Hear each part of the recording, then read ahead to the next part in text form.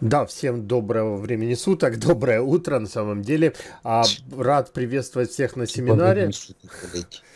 А, большая просьба не включать микрофон, если можно, потому что, во-первых, эхо, во-вторых, мешает и тому подобное. А в любом случае, лучше всего, как уже Ольга сказала, либо поднимать руку, если хотите задать вопрос. Напомню, что там в Teams есть такая опция. Либо же писать в чате, если, чтобы не, не прерывать. Мы, опять же, когда будет а, различные, скажем так, темы, переключения с одной темы на другую в процессе презентации, перед этим будем зачитывать все вопросы по мере а, возможности отвечать на них или откладывать, может быть, это будет следующая тема и тому подобное. Как уже сказала Ольга, мы будем говорить про Power Platform, Power э, Applications и что такое Low Code, да, а почему это является таким активным трендом, а как применять это приложение, которое легко разрабатывается, что вы можете с ним делать, а какие области применения и тому подобное. Кто первый раз на наших семинарах, еще раз напомню, меня зовут Игорь Шаститко,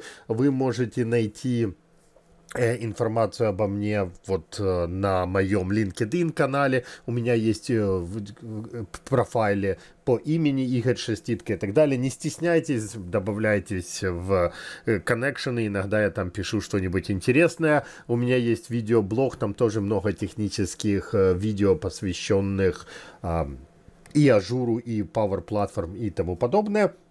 Ну и давайте поговорим непосредственно про Power Platform и, собственно говоря, темы семинара для того, чтобы вы понимали, а, это для вас или это не для вас. Э, собственно, что такое low-code приложение, почему именно Power Platform, поскольку Low Code и Power Platform это не одно и то же. Low Code это принцип разработки, да, Power Platform это один из сценариев разработки, которые предоставляет Microsoft. Мы поговорим про компоненты Power Platform, что она из себя представляет, и посмотрим, какие есть сценарии использования платформы, да, Power Platform для автоматизации процессов без тех или иных необходимости программирования с простым, очень простым сценарием изменения подобных приложений, простым сценарием публикации подобных приложений и тому подобное. Ну и, соответственно, посмотрим на Power Apps, посмотрим на Power Automates или Flow теперь, как они называются. Ну, Automate лучше звучит. Поговорим про Power Virtual Agents, чат-ботов, что это такое, как оно работает. Мы рассматривали ранее в предыдущих докладах все это более детально. Сейчас более обзорно для более широкой аудитории, скажем так, и тому подобное. Итак, что такое Power Platform?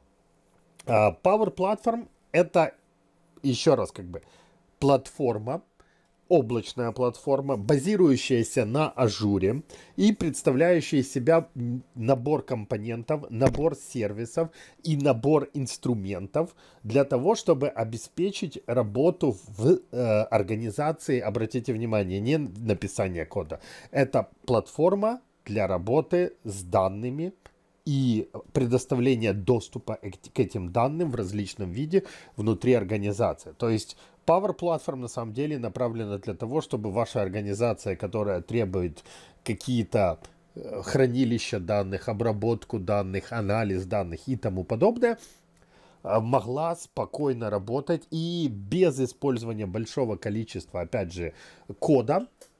Microsoft называет это а, привлеченными разработчиками, то есть не конкретные люди, которые разбираются в языках программирования, знают, что такое ссылки в памяти и прочие-прочие вещи. Нет, это очень простая визуальная среда разработки. А, в принципе, по своей сложности, если кто-то ранее сталкивался, а, она близка к Microsoft Access.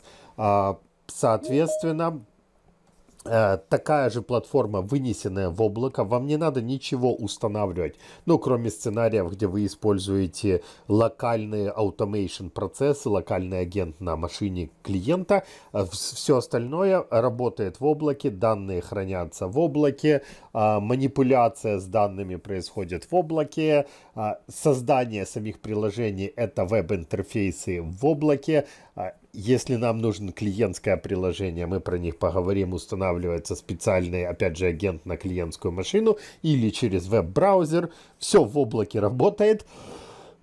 И хочу обратить внимание, Microsoft говорит о том, что Power Platform это не только очень простая игрушка, но и то, что а, продукты Power Platform подходят для сложной разработки. И в реальности на Power Platform написаны очень много компонентов, которые относятся к платформам Dynamics 365 или Office 365. Фактически все там а, взаимные процедуры, различные workflow внутри вот Office 365, когда вы занимаетесь утверждениями и прочим, или Dynamics, а, все эти вещи базируется на той же Power Platform, то есть Microsoft внутри своих решений применяет Power Platform.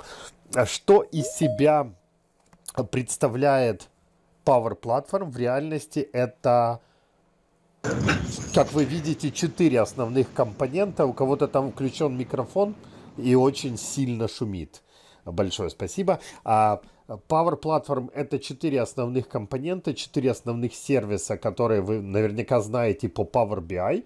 А, это тоже часть Power Platform, и она взаимодействует с другими компонентами и тому подобное. Кроме этого есть Power Apps, Power Automate, Power Virtual Agents, то есть Power Apps это непосредственно приложение, Power Automate это автоматизация, разработка бизнес-процессов, Power Virtual Agents — это работа с виртуальными агентами для возможности создавать свои чат-боты и прочее. Причем очень мощная платформа. Да? А к Power Platform относятся также коннекторы в различном их виде. Что имеется в виду коннекторы? Это коннекторы к различным службам и данным. То есть, например, если вы хотите получать данные с Office 365, в Power Platform присутствует коннектор, позволяющий вам, вам выполнять операции в Office 365. Читать почту, проверять приход почты, манипулировать различными утверждениями и прочим, прочим, прочим. Это все, опять же, Power, э, Platform Connectors. Если говорить о коннекторах, то их огромное количество, мы еще вернемся. AI Builder, возможность использовать сервисы AI в ажуре в основном.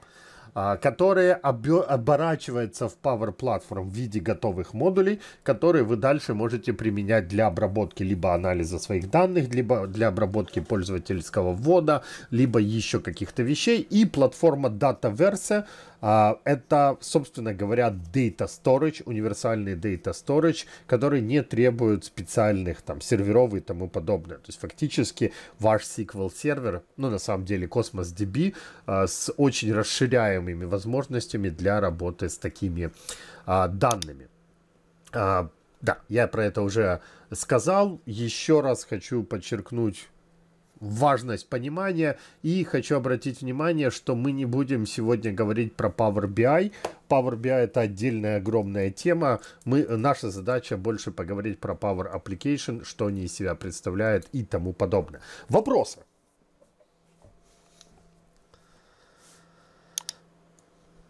Напоминаю, что можно поднять руку или написать вопрос э, в чате. Если кто не знает, как поднять руку, это вот здесь вот в Teams, если это десктопный, вот можно поднять руку, опустить руку, или же поставить лайки, если вам этот материал понятен, зашел. Можете поаплодировать э, докладчику.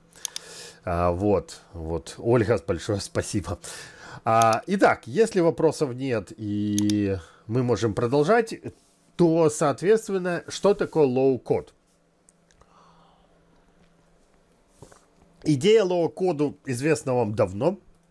Она появилась еще, не знаю, со времен Delphi и прочих подобных продуктов когда-то а, в системе. В любом случае, она тогда, когда мы говорили о Delphi, это больше была визуальная разработка интерфейсов и тому подобное. Мы знаем Visual Basic, мы знаем Base, э, Delphi, мы знаем Access.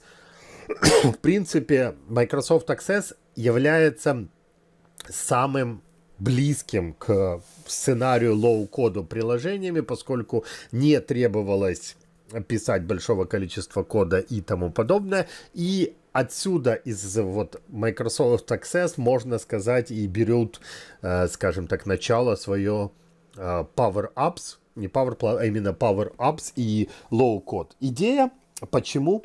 Потому что разработчики сейчас дорогие, да, в Европе нормальный разработчик э, вы найдете, нормального именно, да, в Европе вы найдете от 50 евро в час. Ну, грязными, но все равно, да, то есть как бы можно оценить затраты на разработку, а причем есть еще очереди, знаете, потом начинаются спринты и так далее и тому подобное. Получить готовый продукт вы сможете а, разве что там через полгода, а для вещей, которые полгода ждать, это слишком много, особенно если вам нужно автоматизировать какой-то процесс или сделать какие-то простые таблички для работы. Поэтому и появились low-code, да, а, люди, которые что-то знают именно в бизнесе и близки к IT с точки зрения там. Я работал в Excel и писал формулы. В принципе, этого будет достаточно для того, чтобы освоить у многих а, low-code приложения и Power Apps да, визуальная часть и скрытая за ним часть данных, представление данных и тому подобное. Это все и есть та часть low-code, которая спрятана за э, ширмой Power Platform.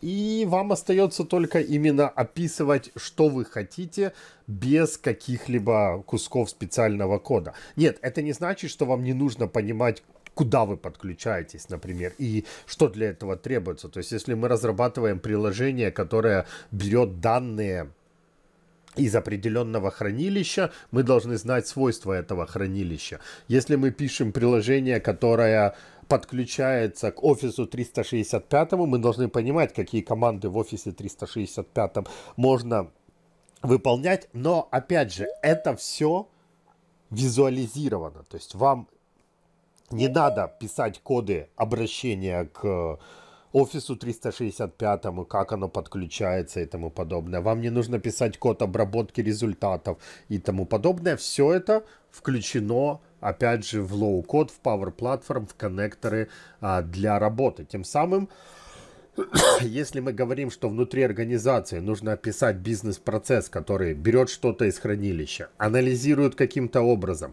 или еще более, да, получает инвойс, анализирует инвойс при помощи э, AI, выбирает из него какие-то правильные поля и тому подобное. А, этот инвойс дальше отправляет на утверждение, на проверки и прочее, прочее, и потом заносит в какую-то из баз данных компании, вплоть до SAP, да, до SAP. Все это выполняется абсолютно нормально на low-code и работает без проблем. Ну и, соответственно, почему, да, и зачем? В первую очередь это именно бизнес-процессы. То есть ориентируюсь здесь на то, что Uh, Power Apps и Power Automation в большей степени ориентированы именно на приведенные ранее примеры. Uh, пример workflow внутри организации, где нужно взять один документ, взять из него данные, поместить в какой-то другой документ, отправить письмо с атачментом или просто уведомление, посмотрите этот документ и утвердите это письмо, если от, э, все правильно, э, отправить такие изменения, внести потом измененные данные в базу данных и тому подобное. Да, это звучит очень просто, в реальности оно настолько же просто по большому счету и выполняется, да, и меняется. Но зависит уже от конкретных э, сценариев, да.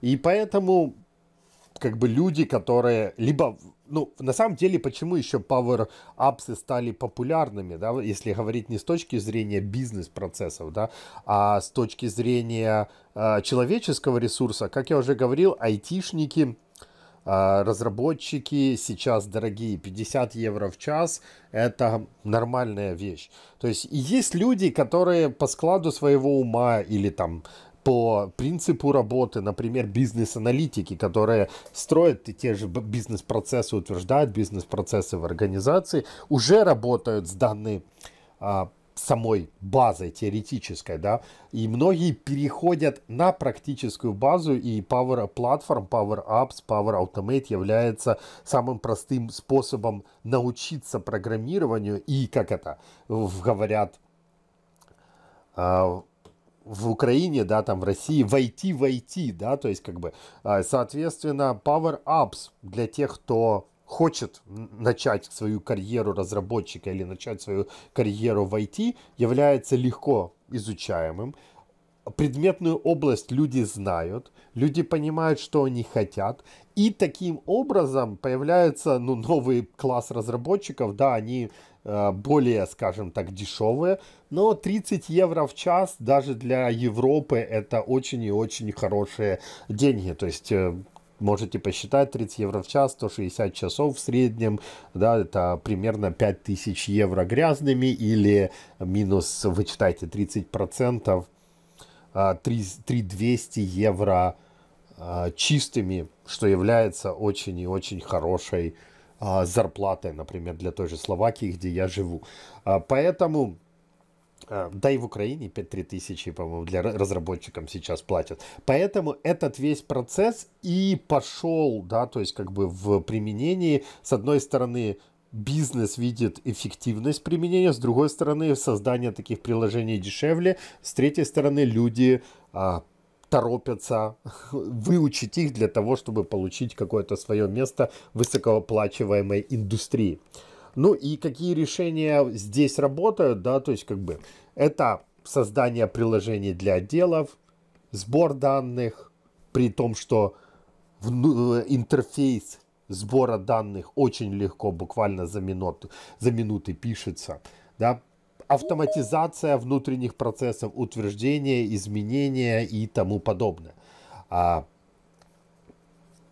расширение для офиса, как я уже сказал, сбор данных, опять же отправка данных, расширение Dynamics или других CRM-систем, если у вас есть. И очень интересная часть это расширение э, унаследованных приложений или приложений, которые не предоставляют сервис, э, требуемый уже сейчас. Например, у нас есть база данных SQL сервером или каким-то другим э, сервером, не хватает уже современных интерфейсов, не хватает современного анализа и тому подобное. Мы подключаемся к базе данных, выбираем оттуда необходимые данные через коннекторы, отображаем, меняем, либо добавляем, опять же, automation для тех или иных процессов. Вопросы?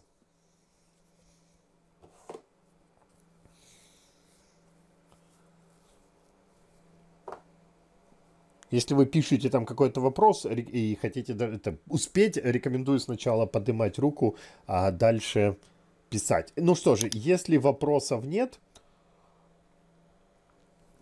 хотелось бы обратить ваше внимание на то, что несмотря на кажущуюся простоту реализации, Power Platform является действительно...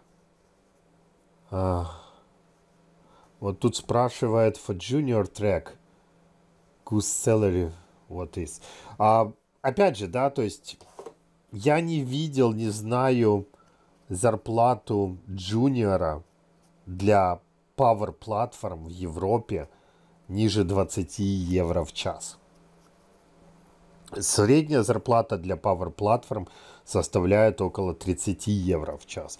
Если вы знаете не только Power Platform, но и какие-то смежные технологии, например, а, Azure, да.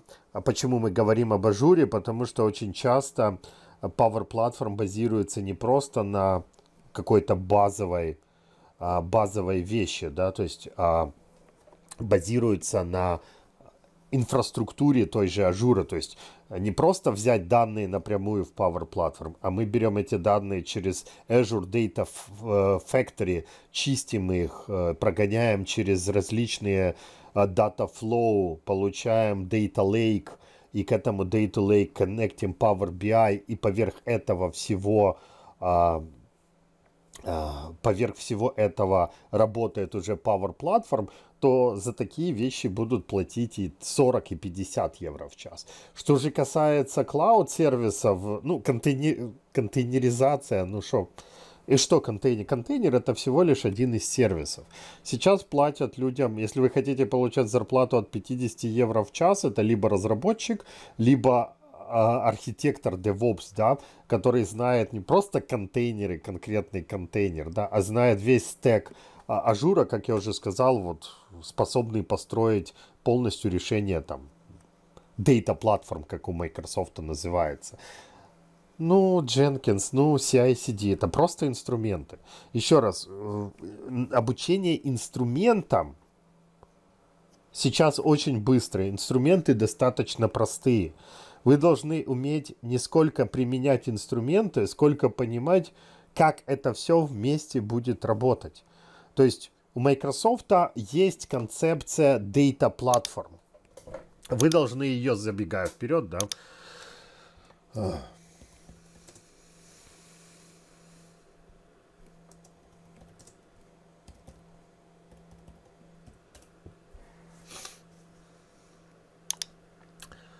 а, Microsoft, так это не оно, это бла-бла-бла. Сейчас. А.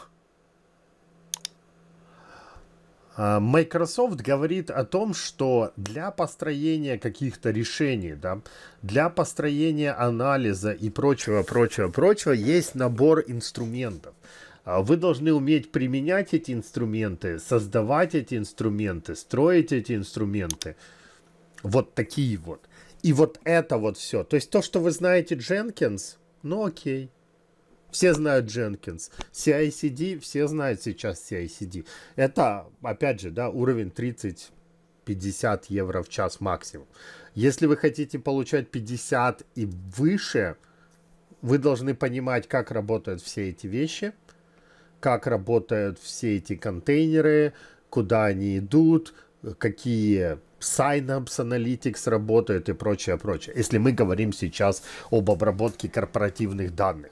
Если мы говорим о архитектуре в целом, да, а, то, опять же, вы должны знать, понимать и уметь оперировать, что такое Microsoft Well Architected Framework да, для построения решений и прочее. Если мы говорим об архитектуре Azure а как такового,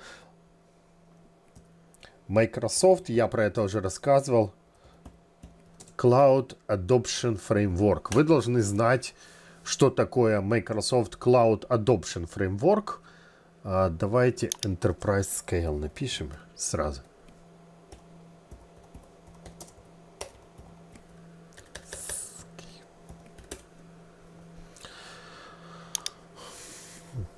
Вы должны знать вот эту всю архитектуру, да, то есть тогда вы можете претендовать на роль архитектора, а, знать, какие landing-зоны, куда что, где какие сервисы, как они взаимодействуют, какие subscription ы, прочее, прочее, и компоненты, которые из них 50-75 евро в час. Если вы это знаете. Ну, то есть, еще раз, Jenkins, так же, как и Power, Power Platform это всего лишь платформа. Тридцатка. И все. А, ну, сороковка, если сторгуетесь. А, ладненько. Давайте вернемся к теме.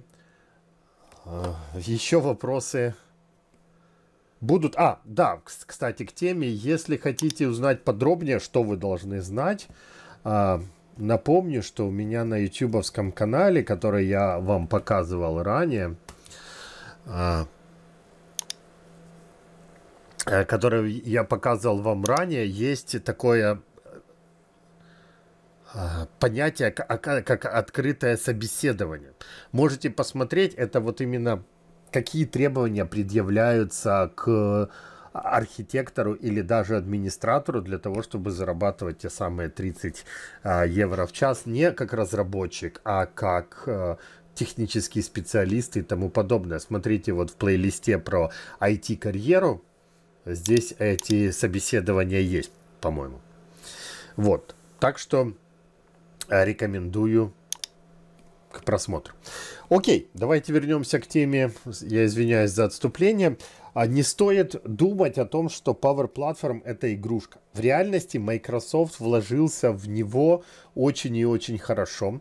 И Power Platform имеет полностью скажем так, адекватную модель безопасности, модель защиты ваших корпоративных данных и прочее, прочее, прочее. То есть, что касается защиты, вся Power Platform работает на Azure Active Directory и используются, опять же, да, учетные пользователи, данные пользователя. Вы, когда разрабатываете решение, вы можете принимать решение, как кто подключается, ну, по умолчанию за, за, это, э, за это отвечает система, то есть данные, когда вы подключаетесь к каким-то данным, это не значит, что пользователи будут подключаться к тем же данным аналогично, поскольку, например, у них может не быть прав и прочего. То есть это все регулируется, настраивается и тому подобное. Power Platform использует тоже Azure Active Directory для лицензии. То есть, когда вы приобретаете лицензии, все это находится в вашей Azure Active Directory.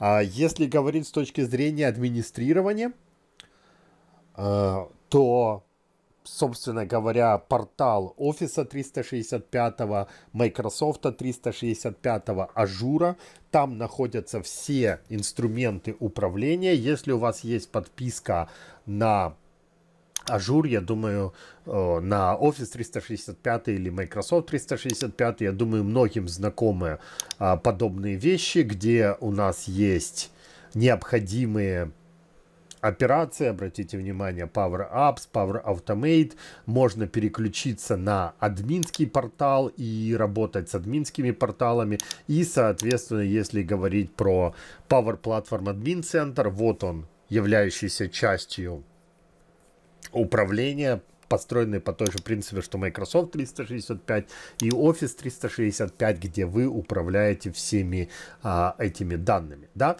плюс как я уже сказал, сама Power Platform имеет свои модели управления безопасностью дополнительные. Например, когда вы подключаете какое-то свое приложение к э, набору данных и вводите туда а, какие-то креденшалы, вы можете выбирать, как будут работать эти креденшалы, будут ли для всех пользователей они использоваться, или это будет работать по отдельности, то есть каждый пользователь со своими креденшалами будет ломиться к данным, и если у него таких да, э, прав нет, его будет отстреливать, да.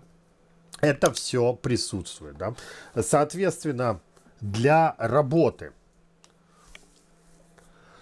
э, Опять же, проверка подлинности Azure Active Directory.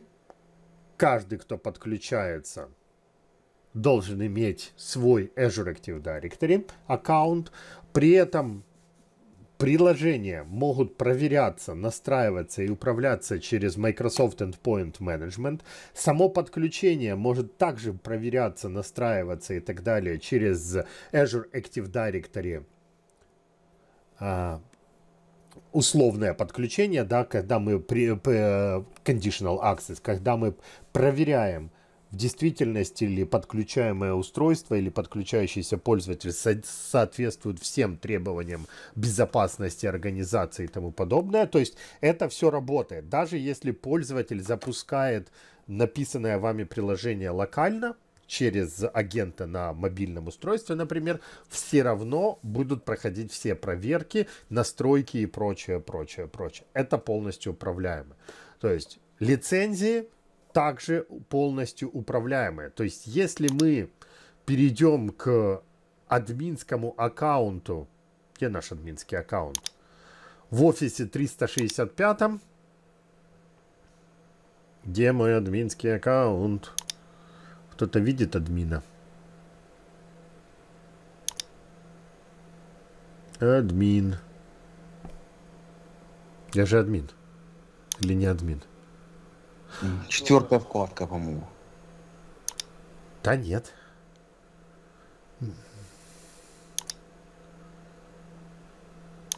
Не, это Power Platform, админ центр. Я говорил про а, офисный админи, э, административный аккаунт.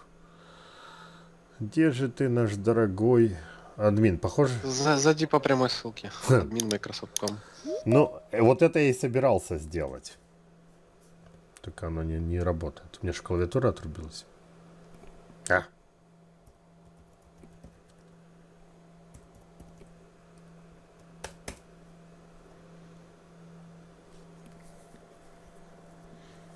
Ага. Я не, не админ. Ну ладно. Сам себе админские права не дал. Ну, бог с тобой. А, в любом случае, да, параметры настройки, параметры автоматизации всего этого дела. Сейчас мы другой аккаунт откроем.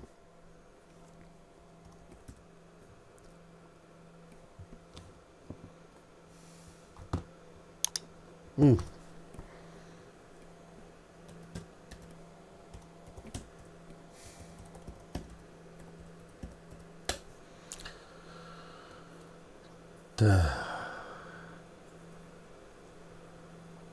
Куда ты нас отправил?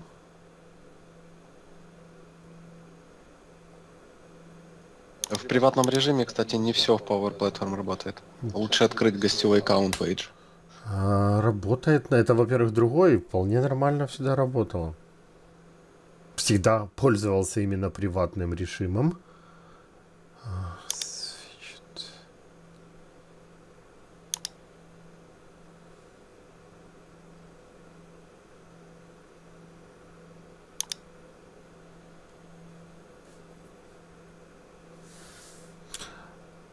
Но тут столько открытых различных аккаунтов с различных клиентов, что оно путается. Я сказал sign in.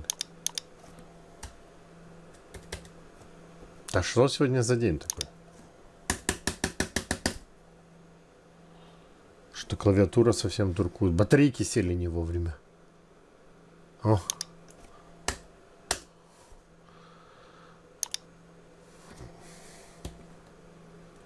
наверное, все-таки админ.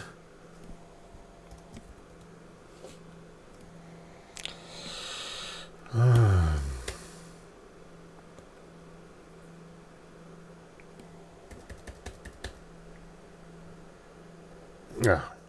вот это вот.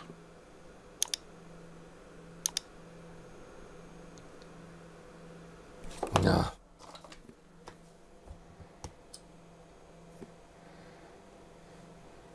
Вот. Дожились до времен, когда в собственный аккаунт надо входить через телефон.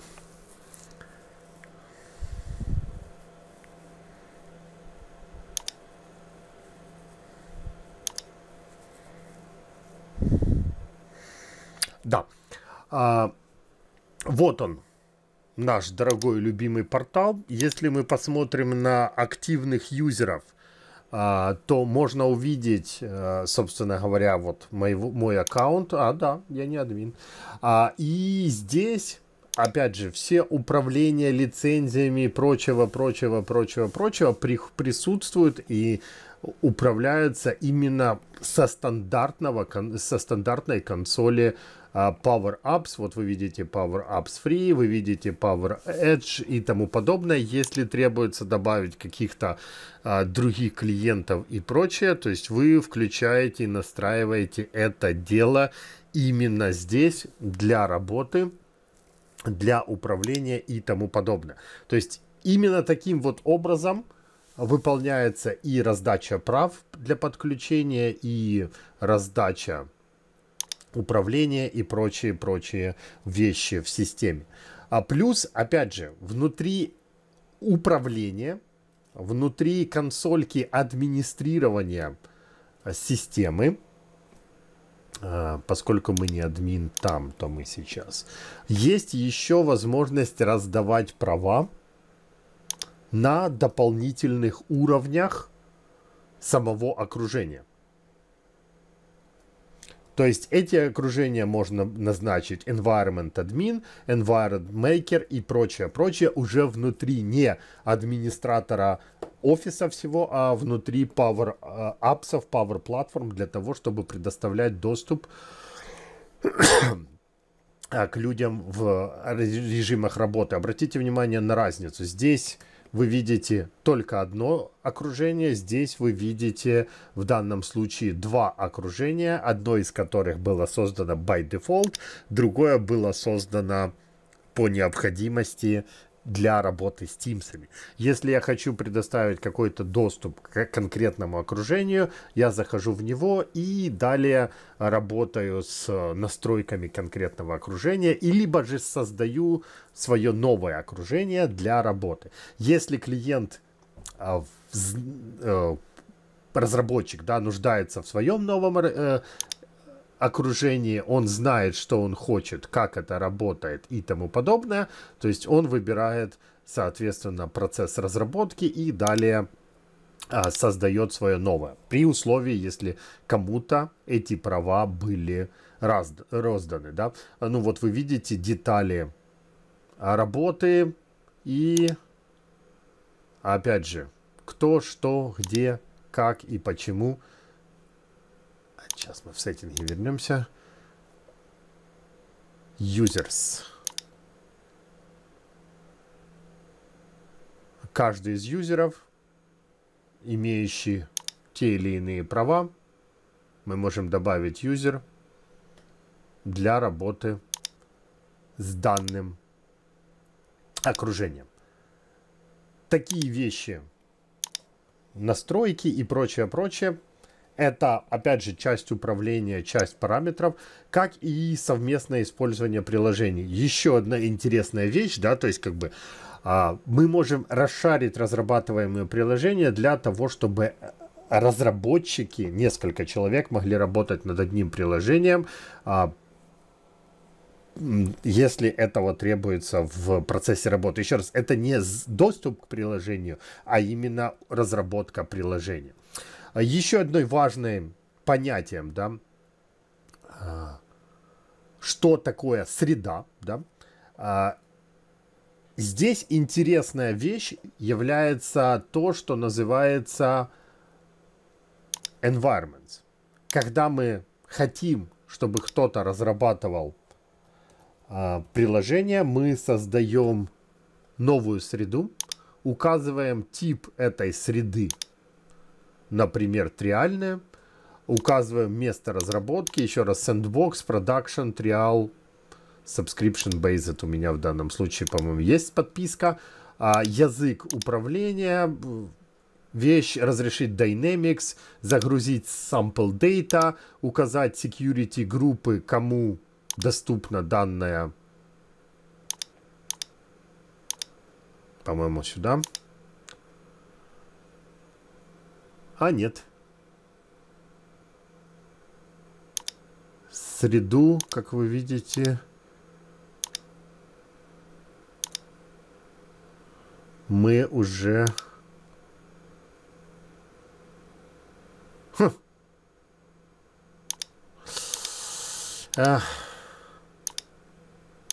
Сэндбокс тоже не дашь создать. Эй. Это я зря сделал, потому что я хотел включить Simple Data. Но в любом случае вы видите, что новую среду а, мы создали. И теперь для разработчиков, которые попадают в соответствующие права и группы, не, еще нет, а, мы будем видеть еще, еще, еще, еще, еще одну среду да, для работы а, в необходимом окружении. Мы можем, опять же, предоставить доступ, мы можем а, поменять этот доступ и прочие вещи. Хотя Sandbox нам сейчас не нужен. Delete. Это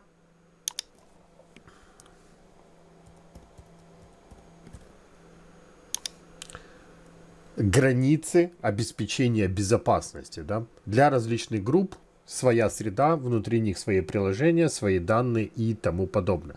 Кроме того, как я уже говорил, я это еще покажу, учетные записи подключения можно указывать, будет ли использоваться общие данные для подключения или для каждого пользователя необходимо будет э, использовать его права и его разрешение для работы. А, плюс есть Dataverse, да, дата данных, я аж удалил. которая в каждом, в каждой среде своя, которая позволяет нам хранить необходимые данные, где ты, с необходимыми таблицами, с необходимыми настройками и тому подобное.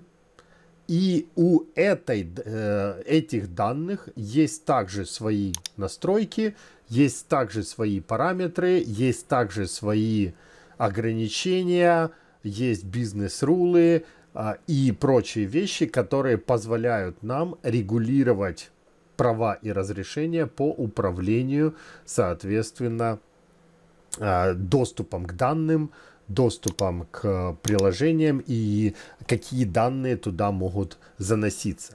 Ну и плюс, опять же, да, а, мы настраиваем данные на System э, э, Customizer, Dataverse User или позволяем делегировать да, а, данные для того, чтобы работать. В принципе, как бы, как вы видите, тут большая, большой набор настроек, набор понятий, также в Automate и прочее. Мы еще сейчас вернемся в процессе демо. А, тут уже пишут... А, спрашивает, является ли, я вот не понял вопрос, являются ли эти таблицы similar, как, э, одинаковые, как Power BI? Ну, это, опять же, это хранилище Power Apps. Вы Power BI, когда создаете свой дашборд, вы берете отсюда эти данные э, для того, чтобы а, работать с этими данными уже в Power BI. Но данные изначально хранятся здесь. Да? А как будет у вас уже Power BI настроен, как я уже говорил, это следующий вопрос. Да? То есть будете ли вы закачивать данные напрямую или будете это брать куда-то, например, в Data Lake, а, Power BI будет не выкачивать данные, а использовать именно Data Lake напрямую как свое хранилище, это уже вопрос разработки. Но в принципе, если убрать Power BI это ваш SQL сервер, в котором вы храните свои данные, с которыми вы манипулируете своими данными, которым вы описываете правила для хранения и прочее, прочее, как вы видите, со всеми вытекающими а, последствиями, да, то есть со всеми таблицами, которые могут пригодиться в работе. Это сделано для того, чтобы стандартизировать все необходимые параметры, которые у вас есть. Вот вы можете отредактировать таблицу, можете взять эти данные, да, загрузить и прочее, можете подключить в Synapse, можете подключить в AI Builder для анализа данных, которые там находятся, или подключить в приложение. Так, если вопросов по безопасности, то мы немного out of time. А, вопросов по безопасности нет. Давайте посмотрим, собственно говоря, на Power Ups непосредственно. Итак, почему Power Ups? Как я уже говорил, интуитивный визуальный интерфейс, минимальное количество кода. А, у нас есть куча готовых шаблонов, данные все данные, да, Power Platform э, Dataverse с ее возможностью, опять же, проверки данных, связей данных и прочего, прочего, прочего. Может интегрироваться с различными другими источниками данных, а, совместная работа, групповая работа, да, внесение изменений, то есть когда вы делаете что-то, создаете приложение, вы вносите, создаете, публицируете новую версию, эта новая версия тут же расходится по клиентам, им не надо ничего устанавливать, они подтягивают, если это работает на мобильных устройствах, у них стоит только одно приложение Power Platform, да, Power Apps, которое показывает список опубликованных для них приложений – клиент просто запускает, он не знает, что, например, версия поменялась. Ну, может увидеть по появ, появившимся новым возможностям, да. Плюс интеграция с AI, я это покажу, и интеграция с Power Automation. Приложений бывает несколько. На самом деле под Power Apps скрывается три разных, абсолютно разных типа приложений – Первое, да, то есть это так называемый канвас или полотно, да, или холст, а, которое представляет из себя обычное приложение, мобильное или браузерное приложение, предназначено для работы с интерфейсом и для работы с данными. То есть у нас есть некие формы для ввода, формы для просмотра, формы для редактирования, может быть какие-то таблицы, анализ и прочее, прочее, прочее. Это все есть в канвасе. Если мы говорим про Model Driven, то это взаимосвязь приложений. То есть фактически это браузер таблиц или браузер данных, которые находятся в Dataverse. У них есть связи между таблицами, у них есть связи внутри таблиц, что позволяет вам, да, то есть как бы сказать, ребята, заходим по этому линку, и работаем с данными. Вы выбираете здесь, например, заказы, детальные заказы ниже отображаются. Поскольку, опять же, модель уже есть. Вы связали данные между собой, и они работают. Портал это микс из Canvas приложений и Model Driven приложений и работающий, соответственно, в вебе. То есть, с одной стороны, вы создаете интерфейсы, которые нужно там для ввода, для отображения и тому подобное. С другой стороны, вы работаете с model-driven приложениями, да, и таблицами, которые отображаются вот в уже перечисленном виде. Хотя model-driven и так работает в вебе, но это веб как бы внутренний, а это портал, который будет внешним. Ну и, соответственно, клиенты, клиенты либо через базовое приложение, либо как веб-приложение в браузере, если мы говорим о канвасе, Model Driven, опять же, базовое или в браузере, а портал открывается в обычном браузере, и если он настроен на публичный доступ, работает э, как надо, да, то есть как бы, соответственно, я про это уже рассказал, да, теперь осталось только показать, как это работает, что оно из себя представляет и кто в этом виноват. Давайте вернемся а, к environment и создадим, наверное, новую среду. Скажем, что она будет production. Скажем, что там будет база данных. Скажем, что заполнить ее требуемыми данными. Я вот не помню, какая.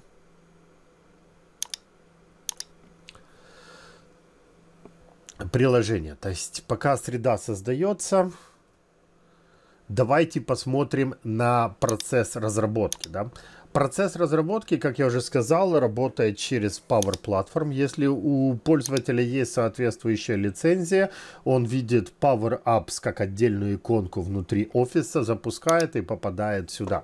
Здесь рабочая среда разработки где вы можете разрабатывать, обратите внимание, различные решения с различными сценариями, в различных, с данными, хранящиеся в различных местах. Например, это может быть данные, которые берутся с Dataverse, может быть SharePoint, Excel Online, а, SQL сервер, либо какие-то другие данные, которые вам понадобятся. А, ну, например, у меня вот здесь, как вы видите, есть подключенная а, о, о, OneDrive for Business. Да, то есть различные OneDrive for Business, которые присутствуют в системе и позволяют вам подключаться. Если вы не знаете, что вы хотите, вы можете заглянуть в коннекторы. Обратите внимание, список коннекторов очень большой и позволяет брать данные с абсолютно различных источников. Ну, начиная от э, знакомых вам Dropbox, Google Drive, Google э, Excel, да, OneDrive, OneDrive for Business и заканчивая различными источниками данных, которые являются базами данных или облачными хранилищами и тому подобное. А если говорить о а, моем OneDrive for Business, то, скорее всего, мы имеем дело а, с SharePoint. Вот, ой, с SharePoint, сори. С OneDrive. Иди сюда. Вот он, обратите внимание, OneDrive, который присутствуют какие-то документы. Например, для этого OneDrive я хочу залить еще файл. И этот файл будет, ну не знаю.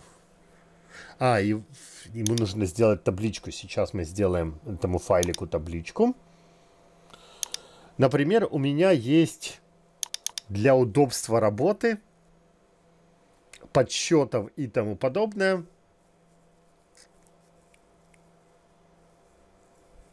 Давай, быстрее, быстрее.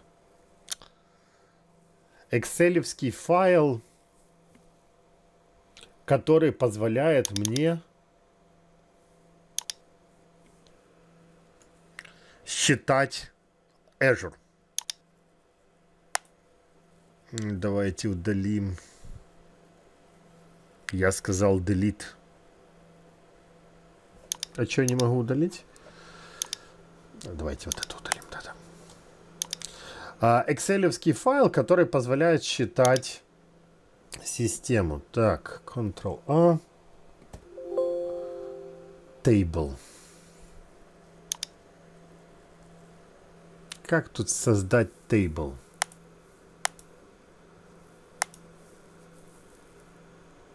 Что происходит? О.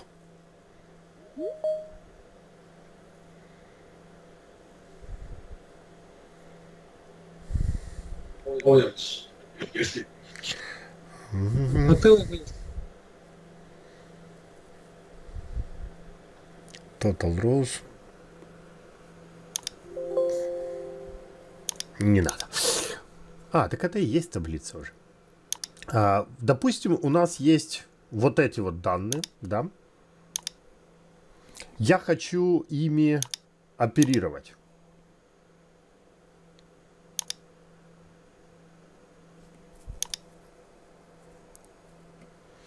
Я их загружаю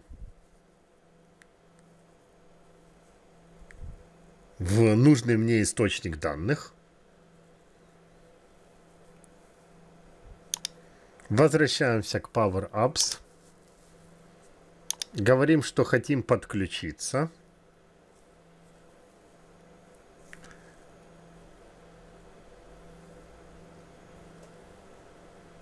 Класс. Окей. Возьмем другую, более простую табличку, чтобы вы понимали, о чем идет речь. Это речь идет о такой вот таблице которая содержится, я ее просто уже показывал в других демках. А здесь Power Platform добавляет свой а, ключ для таблицы, а в любом случае вы можете увидеть а, соответствующие списки и прочее, прочее, прочее. Не знаю, чего оно там глюкануло с предыдущей таблицей. В любом случае, вот это Table 1.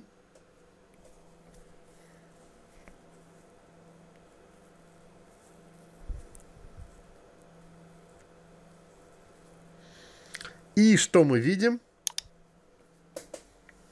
Мы видим готовое к работе приложение.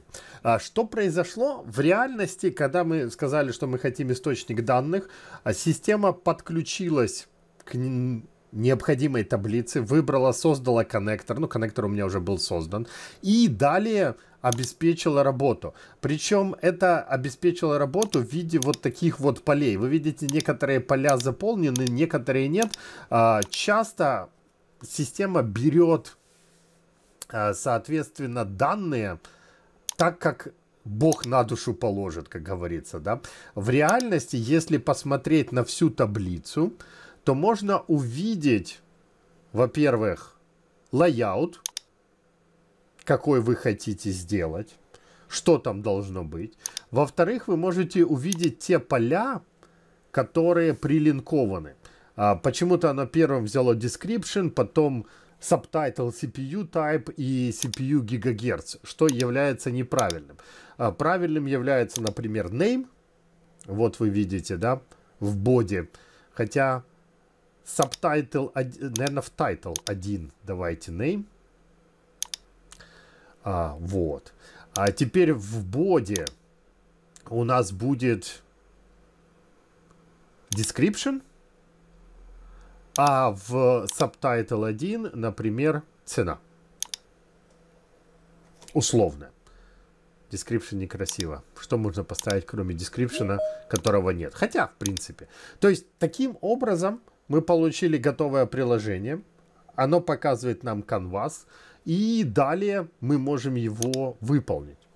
Как вы видите, оно работает, оно скроллит, оно позволяет нам просматривать что присутствует в excel файле и даже его редактировать. Что значит даже его редактировать? При клике э, на файлик, при клике упс, на файлик, на запись можно увидеть более детальное описание мы можем отредактировать его.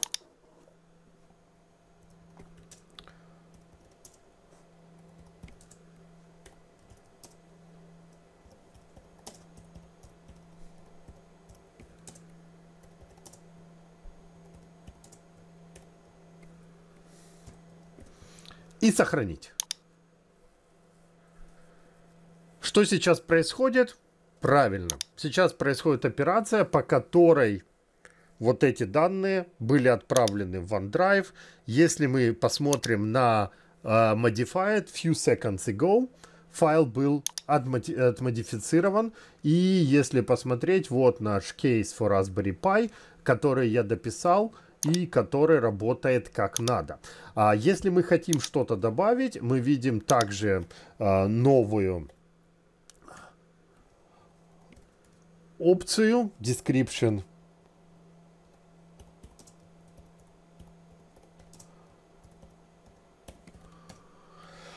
Дискаунт нет. ID 12. Mem 4. Name.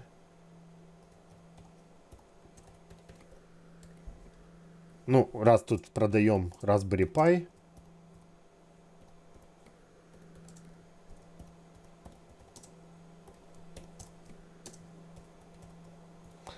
32.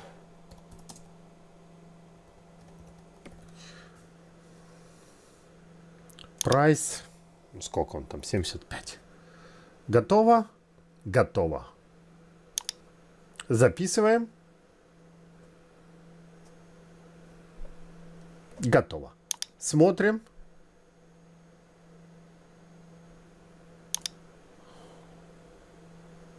Raspberry Pi. Compute Module. Name. Все, все как положено. Все как надо. Все как заказывалось. Система готова. Система работает. Система позволяет нам просматривать, система позволяет нам искать, система позволяет нам сортировать по разным э, критериям, добавлять и прочие-прочие вещи. Например, ARM. Мы видим все, что касается ARM, даже если эти поля а, не попадают в соответствующие отображаемые. Как это работает, да? Что мы, собственно говоря, сделали такого? А ничего особенного мы на самом деле не сделали. Давайте вернемся к приложению. Где мое приложение? Отлично. Забыл записать. Ой. Так, на минуточку. Давайте повторим подвиг. Заодно посмотрим. Тут есть таблица, connect. Итак, что происходит? Да? Когда мы указываем на какой-либо источник данных, который вы планируете применять, Система сама формирует несколько вещей. Первое из них это, собственно говоря, скрины. А скрин первый, вы его видите сейчас, на котором помещены компоненты Gallery, которые являются, собственно говоря, таблицей. В этой таблице присутствует вид, в этой таблице присутствуют поля которые есть. И самое главное, что здесь есть, обратите внимание, а, здесь есть дата.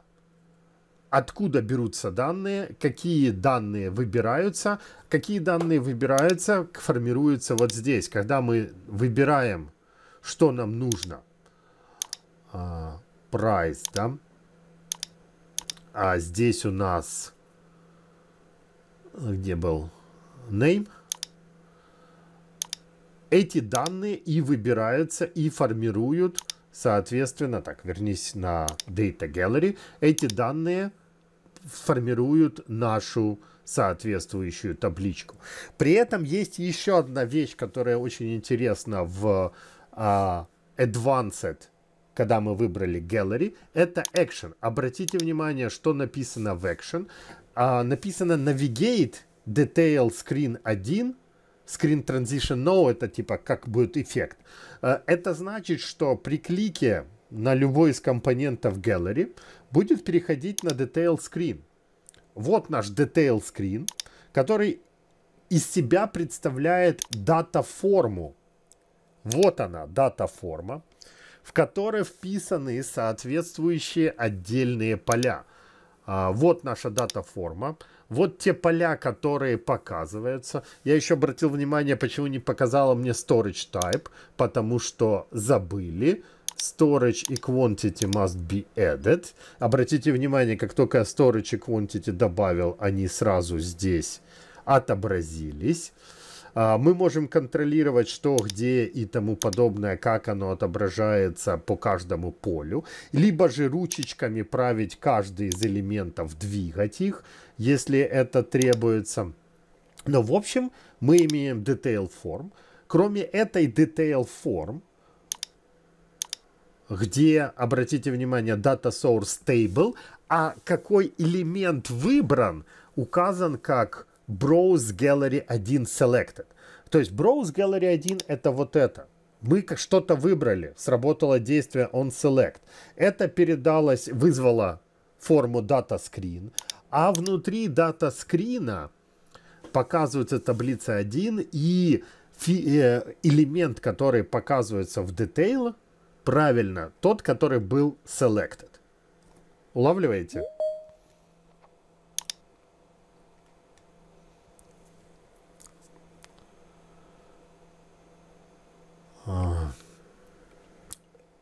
Соответственно, далее, да, а, соответственно, далее что? Когда у этой элемента есть еще таблица, обратите внимание, delete, что происходит при delete. Он select или иконки delete срабатывает как remove из table 1, а, browse gallery selected, если пусто, error и так далее. Да? Icon 1, Icon Edit 1, да, а, представляет из себя, обратите внимание, запуск Edit Form, Edit Form 1 и переход на другой скрин. Это особенности, да, но в принципе система генерирует это все для вас в процессе работы, если этого требуется.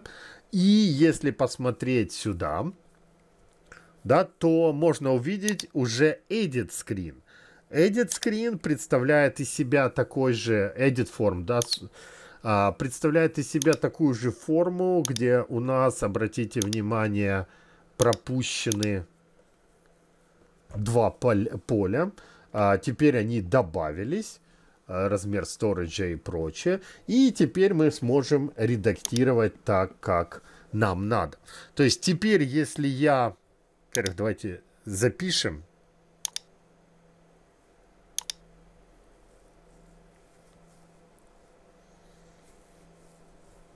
Кстати, здесь, если обратите внимание, в Save и прочем присутствуют также опции Share, где вы можете выбрать, кто еще и в каком виде будет работать а, а, с данным приложением для того, чтобы отдать его в совместное использование.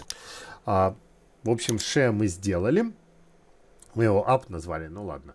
И теперь можем посмотреть, что у нас получилось. Обратите внимание. А, ну да.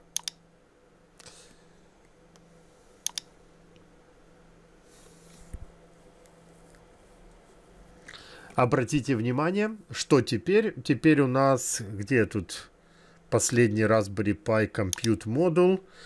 А, это был 4 гигабайта памяти, и нам нужно quantity на складе 10, а storage у нас, мы говорили про 32, значит 32. Сохраняем, смотрим. Compute Module. О, Storage 32, количество 10.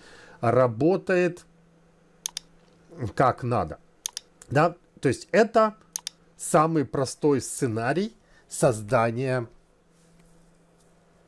Где в другой сессии? Вот она. Это самый простой сценарий создания приложений. Почему я говорю про самый простой сценарий? Потому что нам ничего не потребовалось а, придумывать и тому подобное. При этом мы можем создавать, обратите внимание, приложения а, с пустым вариантом. The Canvas app from Blank, Model Driven app from Blank, Portal from Blank, если нам нужно создать. Кроме того, если мы непосредственно перейдем к созданию приложений, то вы увидите, что большое количество здесь присутствует приложений, которые уже готовы. Кстати, если вы соберетесь сдавать экзамены по Power Platform, что в принципе весьма и весьма может понадобиться в жизни, да, а, то а, в, в экзаменах, вот даже в базовом экзамене, очень много вопросов, посвященных особенностям и способностям э, конкретного каждого приложения, каждого темплейта приложения. То есть вот Power Apps Training for Office, да, там, митинг, Power Apps э, таски и прочие, прочие, прочие вещи. Это все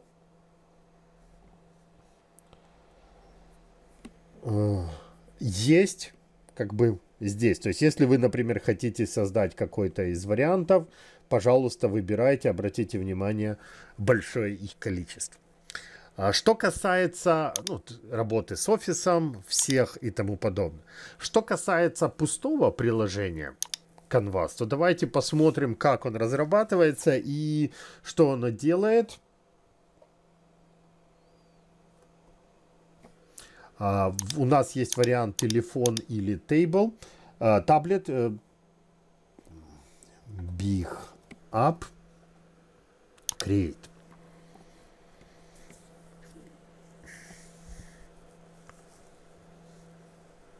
Skip. В данном случае, что мы видим? Мы видим пустое приложение. У нас есть один экран он предлагает что-либо поставить, либо подключиться к каким-то данным. Мы можем подключиться к таблицам Dataverse, либо использовать, опять же, существующие коннекторы, которые у нас есть. Например, у нас OneDrive for Business. Что у нас тут? Skip. Давайте это приложение закроем. Uh, OneDrive for Business – который уже создан. Или мы можем создать новый коннектор, если нам этого требуется для каких-то других целей. Connect. Угу. Опять же, как вы видите, Никаких специальных вещей нет. Что произошло? У нас появился просто новый коннектор и по-прежнему пустой скрин. А для того, чтобы что-то с чем-то работать, да, обратите внимание, у нас есть те самые gallery, о которых мы говорили, а, которая может быть пустое, которая может быть вертикальная и тому подобное. Мы можем выбрать вертикальную и использовать ту самую коннектор, который уже есть, либо, опять же, использовать какие-то другие таблицы и прочее. Произошло ровно то же, что мы видели ранее. То есть система автоматически показала нам табличку со своими настройками. Вот она Gallery, вот она Edit, Вот тип нам не нужно это, нам нужно вот это. Нам также не нужно в body, а в body description нормально. В subtitle мы хотели количество, а в title мы хотели name. Готово? Готово. А теперь дальше, двигаясь а, по типу, то есть у нас большое приложение, мы выбираем, хотим, чтобы работало здесь. Обратите внимание, дисплей форм. Узнаете? Тот же дисплей форм, который для вас система поставила ранее. В отдельное окно мы можем его поставить в данное окно. Давайте здесь сделаем поменьше, здесь побольше. И Connect Data.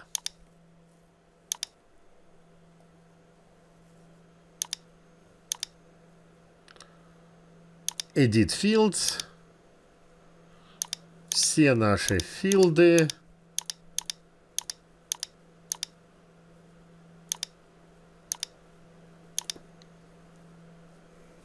Готовы. Да? Расположение, опять же, вы регулируете сами.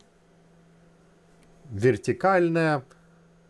Что вам нужно, в какой последовательности вы регулируете сами. Иди сюда, name.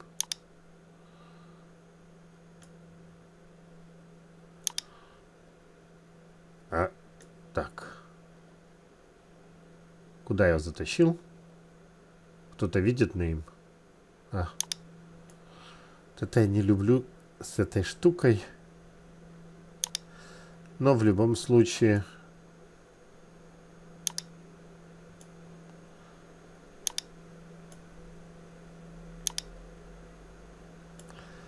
Сейчас мы его перетянем. Итак, а, опять же готово. Теперь самое главное, Advanced Data Source и какой item показывать. А item у нас показывается какой? Правильно, Gallery 1. Selected. Обратите внимание, опять же, да, чего я это показываю. Нам не нужно каких-то специальных навыков для того, чтобы э, работать. Нам нужно знать только те базовые вещи, те базовые элементы, которые касаются работы. Теперь, если мы запустим данное приложение, выбираем здесь, работает. Выбираем здесь, работает, э, работает, работает и тому подобное. Если мы хотим редактировать, да, мы можем, опять же, создать новый скрин, вы, вызывать соответствующую форму редактирования и тому подобное. А теперь вернемся к данным. А, сейчас я покажу один момент, который является весьма и весьма интересным. Вот тут спросили, можно ли добавлять проверки вводимых данных и тому подобное. А, можно, и это все как раз следующая тема. Мы все время создавали, обратите внимание, что? Мы все время создавали базовое приложение с канвасом. Теперь мы посмотрим, как это работает на Model Driven демо.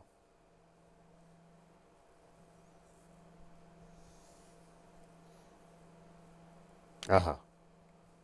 Ага. Данных нет? А данных нет. Вот так всегда. А... Сейчас мы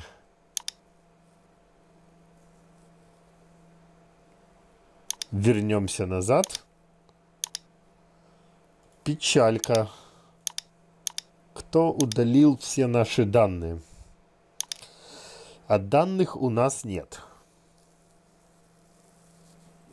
И это нехорошо.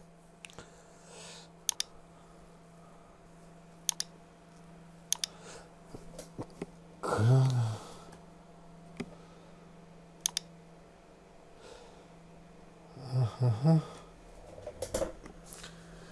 А мы сейчас сделаем следующее. По идее, я создал э, новые, новую среду.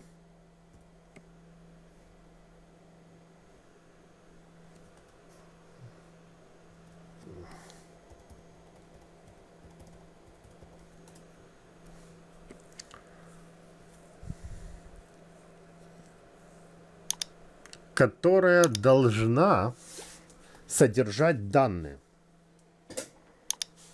У нас в Dataverse в настоящий момент должны иметься данные, как минимум базовые. И обратите внимание, каждая из таблиц, она не просто таблица, она содержит колонки, она содержит relations э, между текущими полями и полями в других э, системах. Она содержит бизнес-рулы, которые описывают, как эти данные вводятся. Она содержит в себе вьювы, как, как эти данные отображаются. О, тут данные есть. Она содержит в себе формы, как эти данные показываются в виде форм. Она показывает себе, тут нет дашбордов, которые могут быть, какие-то чарты, которые могут уже быть созданы. Сейчас он запустит отдельную консоль а, для работы чартов и тому подобное. То есть, если мы говорим о проверках и прочего, прочего, прочего, то а, самый простой вариант всех этих проверок и прочих вещей это как раз вещи, которые касаются Dataverse. Почему Microsoft и говорит, что работаете с Dataverse, а не а, с какими-то внешними источниками для того, чтобы упростить. То есть данные берем откуда угодно, но работаем с Dataverse, создавая соответствующие э, бизнес-рулы. Он запустит эти чарты. О, это будет еще долго. Ну, идею вы поняли, да? Обратите внимание, показывает э, различные чарты для работы. А, соответственно, кондишены, которые вы можете описывать, если что, куда, как и прочее, прочее. А, какие поля блокируются, не блокируются операции, все это вместе. Это и есть наши дата-рулы, позволяя бизнес-рулы, позволяющие вам работать с системой. Кроме того, есть возможность выбрать различные чойзы и описать, что туда могут вводиться. Есть data flow, как эти данные берутся, трансформируются и переносятся между системами. Все это как я уже сказал, одна большая, большая инфраструктура для работы. Например, у нас есть список адресов. Ну, это сейчас заполненный уже. А, нету ни одного адреса. Ну, ладно. По крайней мере, клиенты есть, и на том спасибо. Так вот, возвращаясь к теме управления, используя данную штуку мы можем создавать различные приложения. Как вы видите, а, здесь присутствует, например, фандрайзер, да? готовое Model Driven приложение, которое берет из различных таблиц информацию о том, что у нас есть, вот вы видите, а, например, как дашборды с соответствующими приключениями, а, кто за что платил и подробная информация об этих людях, какие донейшены от кого, когда поступали и прочее, прочее, прочее, прочее. Как это работает, да? Работает это все очень просто. Если вы посмотрите на само приложение, то это приложение имеет некий список компонентов sitemaps. Вот вы видели fundraiser, dashboards, uh, donations и, и прочее, прочее, прочее, прочее, да, которые каждый из себя представляет дашборды, главный дашборд, который представляет из себя фандрайзер, который из себя представляет donation. Откуда это берется, да? Это все берется из соответствующих табличек. То есть, если мы посмотрим в организации, где наши фандрайзеры, а, какой таблицы, куда оно привязано, то, соответственно, у, как я уже сказал, у каждой таблицы есть свои параметры, да, asset checkout. Что он не догружает?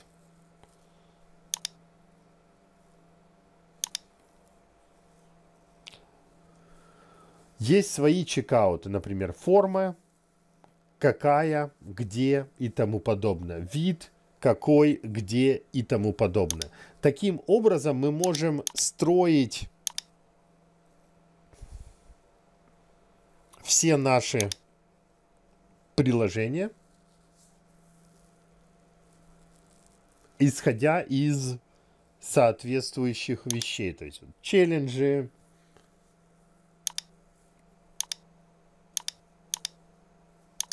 идеи. При этом идея может быть active, может быть inactive, team projects.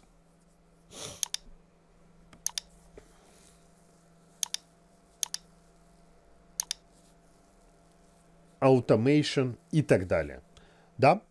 То есть оно все перебрасывается в, в рамках данных. Если мы хотим создать такой Model Driven Application. Тут он сейчас в превью.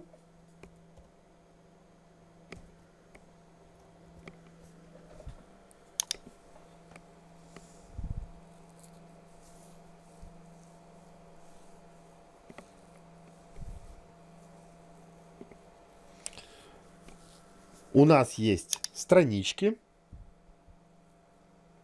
таблица или формы, дашборды или кастом.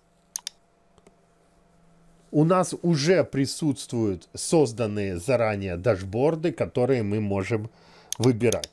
Либо же у нас присутствуют таблицы, которые мы можем выбирать и связанные с ними параметры. Как вы видите, эти все таблицы, вот они в работе. Давайте возьмем аккаунт. Вот наша табличка, с которой мы можем работать, в которой мы можем добавлять необходимые вещи. То есть у аккаунтов присутствуют все их, ну, для простоты понимания, да, а, все их, обратите внимание, опции, которые касаются того или иного вьюва. Если мы сейчас запустим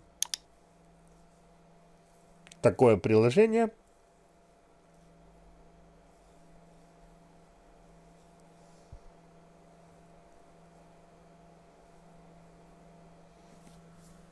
то можно увидеть, как это работает. Аккаунты.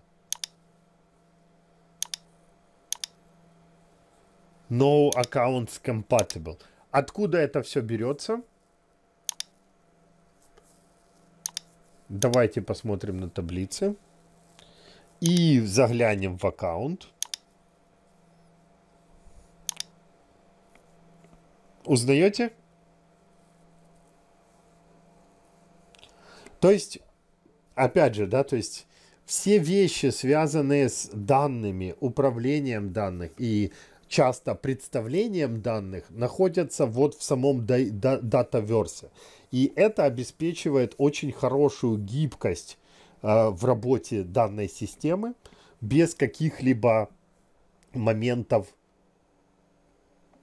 специального вообще программирования. То есть, а почему я вначале говорил, что для дата-аналитиков, а, людей, которые бизнес-аналитикой занимаются и тому подобное, если они знают связанные таблицы, если они знают те данные, как, как где и почему они должны работать, если кто-то проектировал подобные вещи, то дальше на их основе создать новое приложение необходимым э, видом, да, вообще не проблема.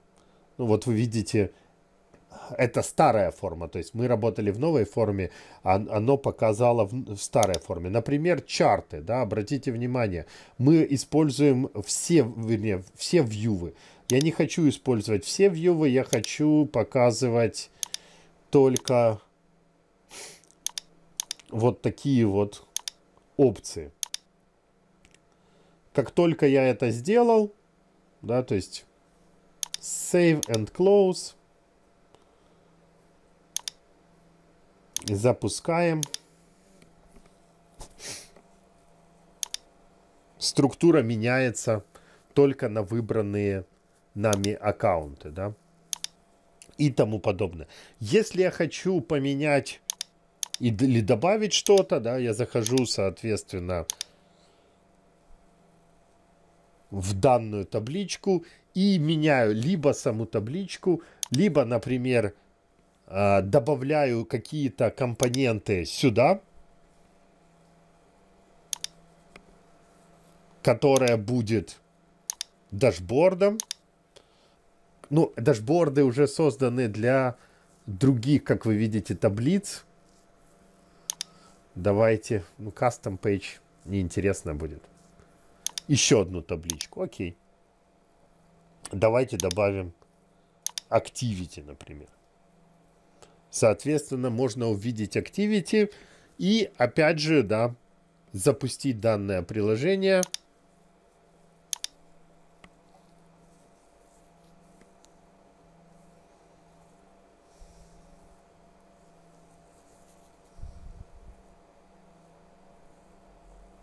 в работу. То есть здесь мы имеем дело с Activity, здесь мы имеем дело со всеми а, видами, которые в Activity прописаны. То есть это все в таблице, да, система просто их а, а, а, вытаскивает, когда нужно. Система позволяет без какого-либо, обратите внимание, программирования создавать соответствующие чарты, которые вам нужны. Они там есть, да, под, под, подгружаются и тому подобное. А система позволяет, опять же, редактировать, смотреть имейлы, которые привя привязаны к соответствующему аккаунту и прочие, прочие, прочие вещи делать. То есть эти все операции и есть Model Driver.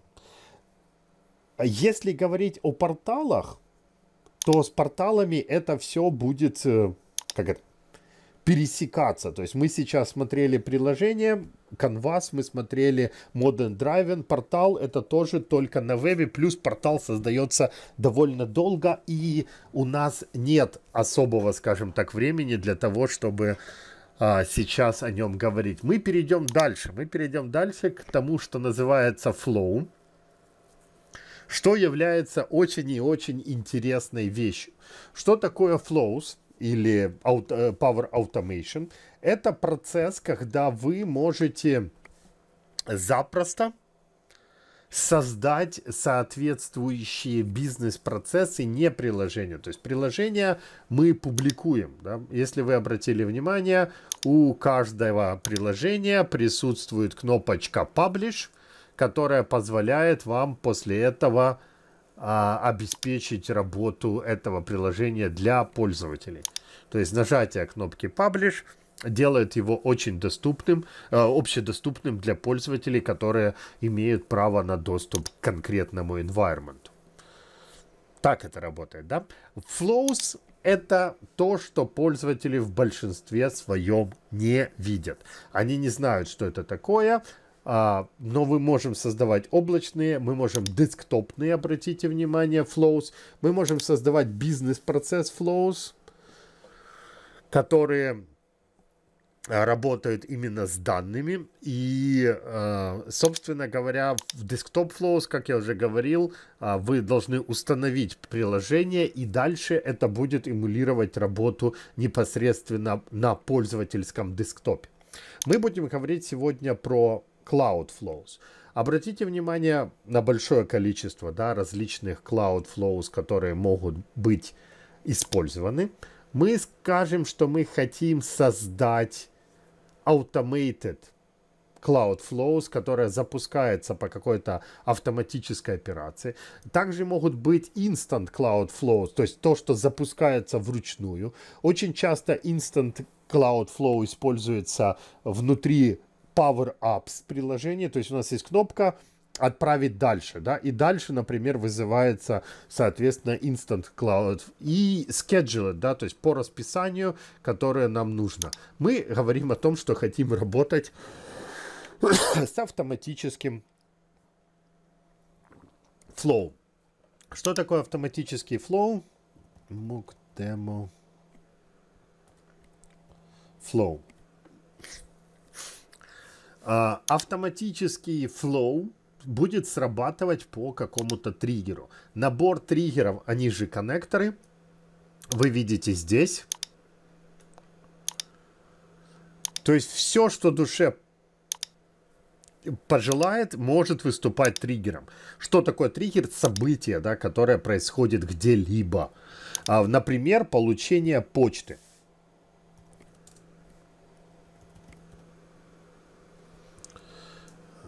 Когда новый имейл приходит.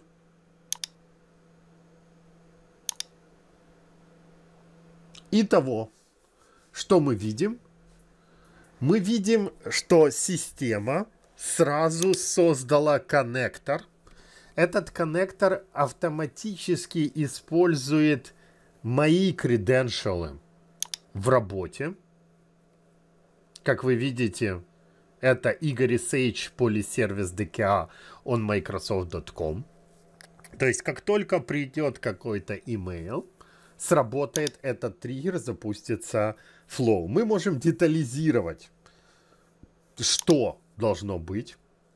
Например, это должно быть attachment. Во-вторых, это должен быть invoice в сабжекте. Importance только high и рассматривать только с attachment. Понятно, да? То есть сейчас workflow сработает только при условии, если придет письмо с attachment, и этот attachment, э, subject будет invoice, и письмо будет как high. Дальше мы можем выполнять какие-то операции. Какие операции мы можем выполнять? Например, у нас есть OneDrive. И мы хотим поместить письмо, которое придет в какой-либо фолдер в OneDrive. Обратите внимание, Поскольку письмо приходит с атачментом, мы говорим, что мы хотим создать файл. Эта штука также использует мой Игорь SH коннектор. Или же я могу сказать, что он будет использовать, например, какой-либо другой коннектор –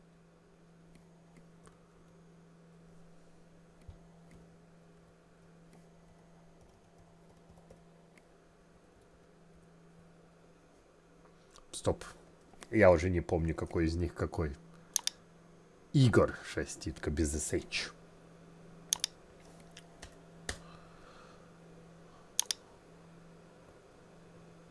А. Так, теперь вы пароль вспомните.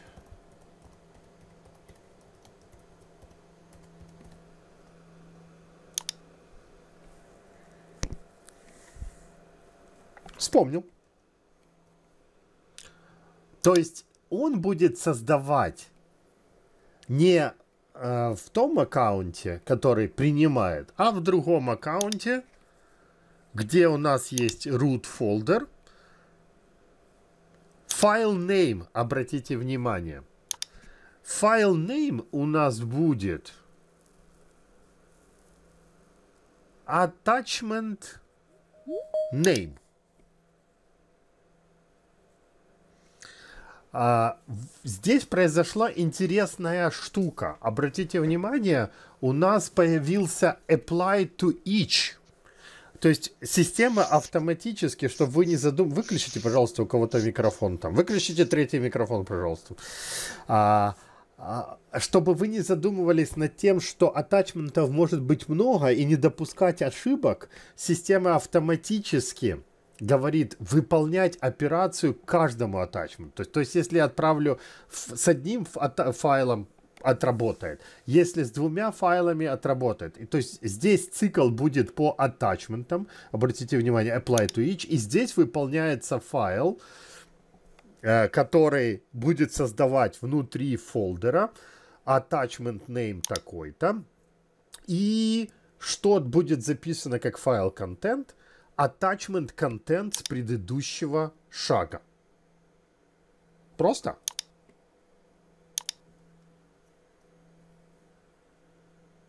Все. Готово. То есть теперь мы следим за атачментами. А, если attachment соответствует, ну, вернее, письмо соответствует критериям, то система отправляет его дальше. А теперь нам нужно вспомнить, какие имейлы где мы использовали. Давайте вот этот скопируем. А, и давайте создадим а, новый имейл.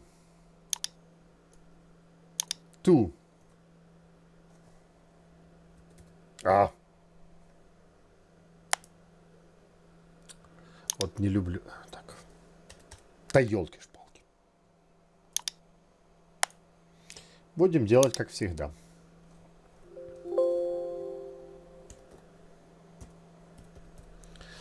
А...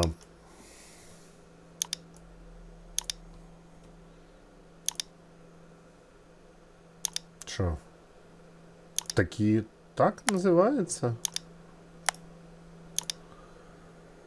Да, правильно. А subject. Просили, чтобы это был invoice если я правильно написал.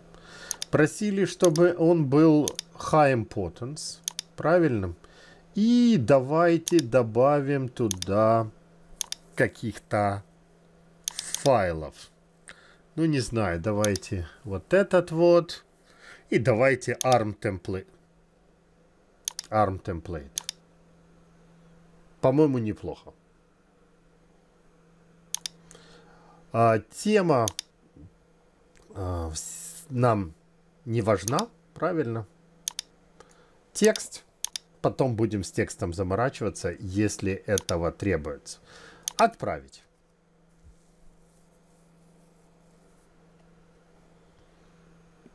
А, а, а, а, а, а забыл же... Вот, вот же ж... А, тест. Да. Забыл же запустить. Надеюсь, что успеем. А, успели. Обратите внимание, система в режиме теста обнаружила новое письмо и выполнила, соответственно, первую операцию. Мы видим количество секунд, затраченных на первую операцию, что мы получили в инпуте что мы получили в аутпуте. Обратите внимание, это полный, то есть вот это вот то, что пришло как письмо, вот это полное содержание атачментов. Ну, это если вам вдруг захочется подебажить и понять, что пришло. Следующий шаг был, было две э, э операции for each. И в каждом из шагов было выполнено create file. Был найден файл arm template, и этот файл arm template был записан как соответствующий ID а, в системе. Да, он записывался в мой личный OneDrive. И, соответственно, мы можем здесь увидеть, что несколько секунд назад ARM template был записан сюда. Второй ореховая PDF было, орехово PDF было записано сюда. Вопросы?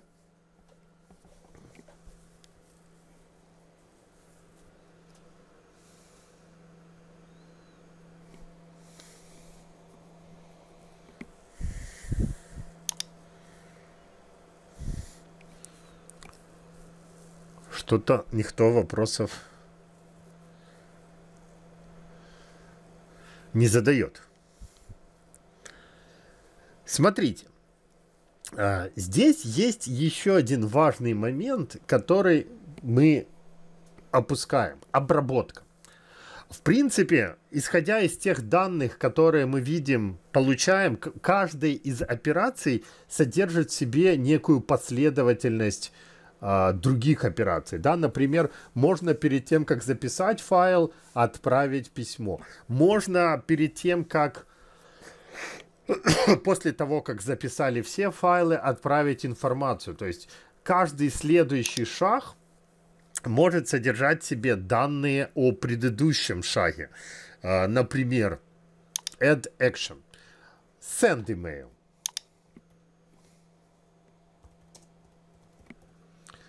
Send email мы будем использовать Microsoft 365. Мы будем отправлять email. А to мы будем отправлять его, допустим, Игорь sh, поскольку мы туда записали файл. А, new file created. И обратите внимание, Dynamic Context. Uh, dynamic Content, uh, content у нас содержит опера результаты операции Create File. Он содержит операции New Email Arrives. Поскольку мы хотим уточнить, что же мы создали uh, здесь, то можно добавить, например, name of file. А здесь мы можем добавить соответствующий display name. Обратите внимание в боди. Путь.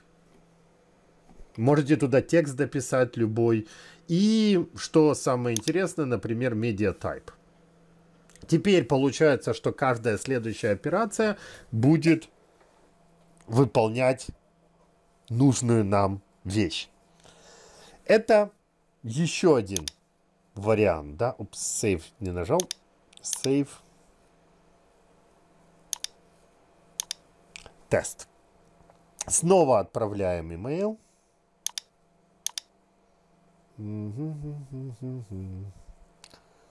Где мой почтовик? New.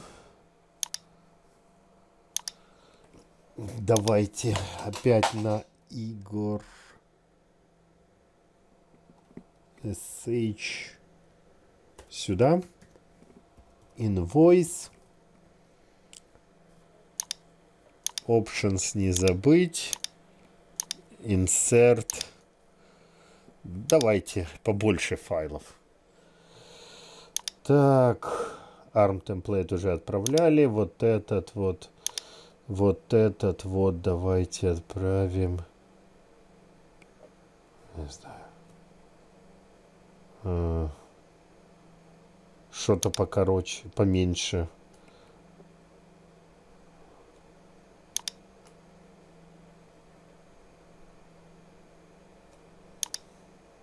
Вот этот вот. И вот этот вот. Есть? Отправляем.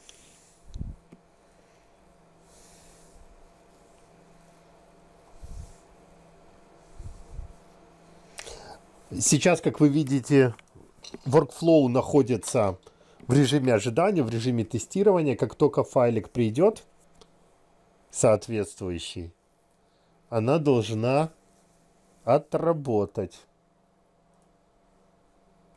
О, видим running.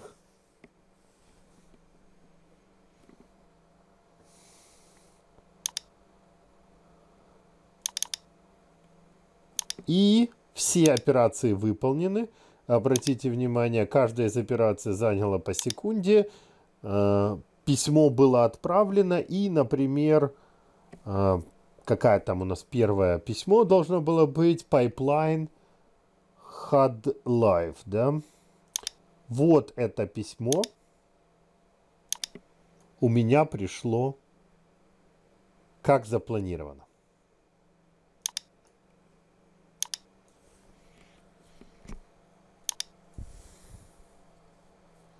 Вопросы?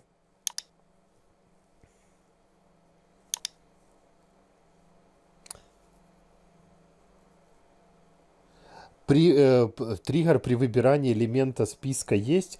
Э, элемента списка какого? То есть, типа, э, это же зависит уже от инфраструктуры, то есть и, триггеры вообще срабатывают... Не, SharePoint список у вас сам по себе, да, то есть как бы это не значит, то есть это у SharePoint есть свой workflow.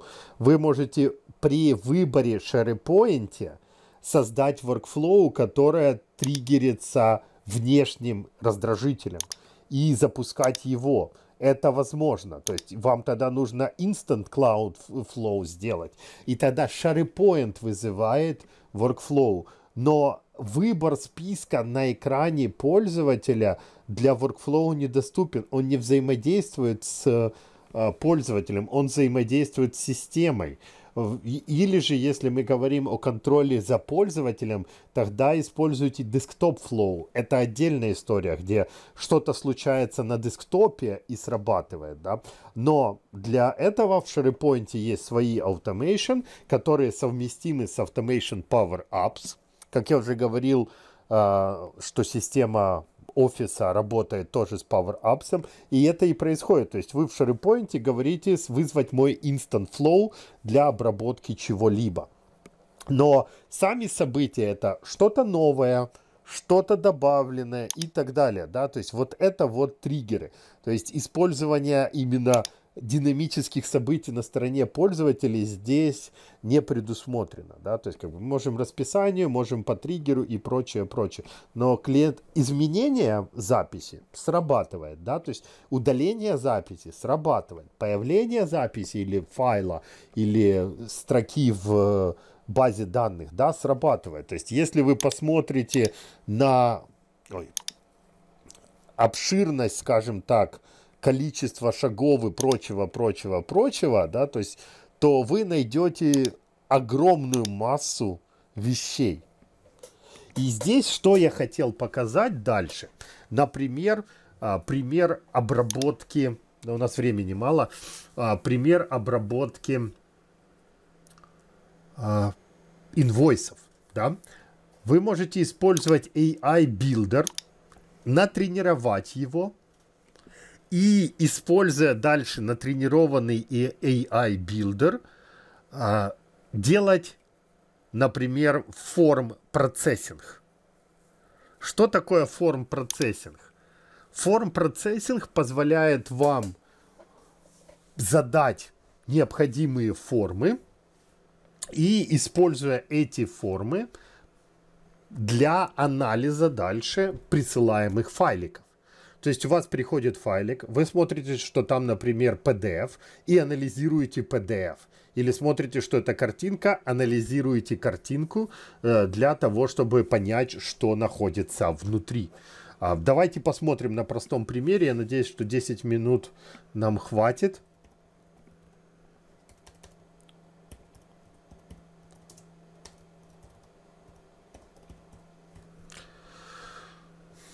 Хотя бы показать, как это делается. Итак, а, мы сейчас говорим, что мы хотим сделать форм процессинг.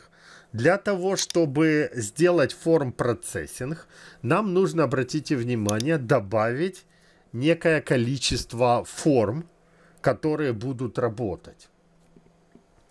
А, допустим, ID.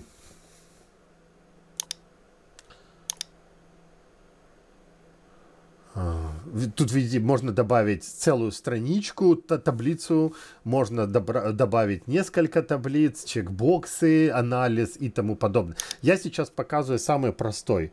Date. add су.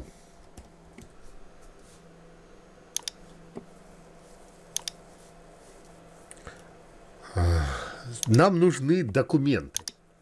Добавить документы. Он говорит, откуда брать документы. Еще раз, идея документов состоит в том, что вы а, просто подгружаете. Давайте, сейчас я... Документы, кстати, берутся картинки и PDF-ники. Так. Так. Так. Так. Так.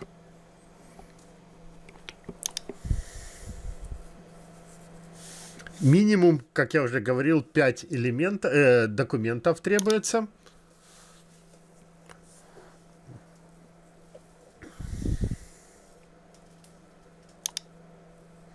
Готово. Теперь обратите внимание,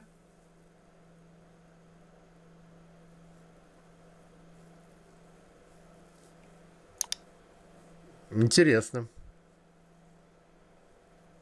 А чего это?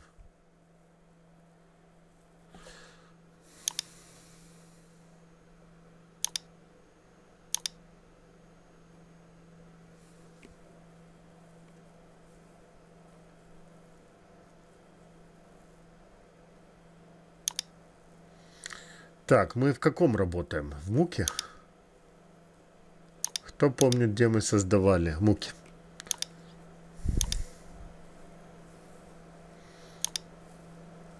Settings, ресурсы.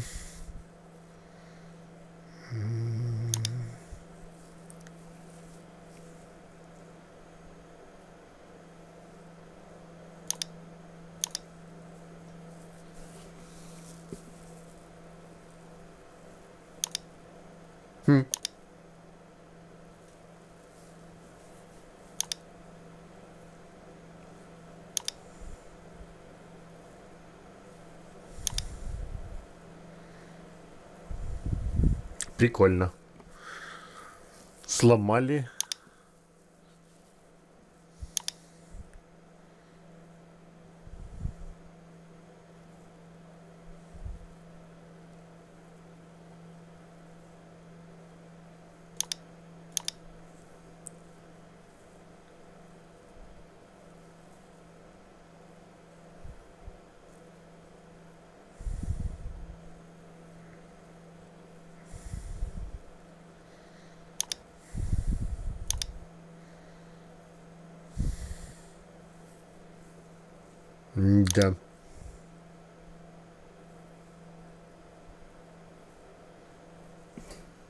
Кто-то видит?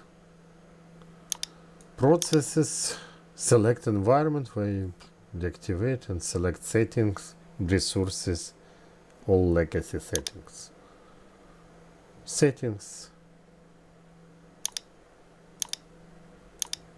Resources, all legacy settings. Пусто. processes from the setting menu. Processes.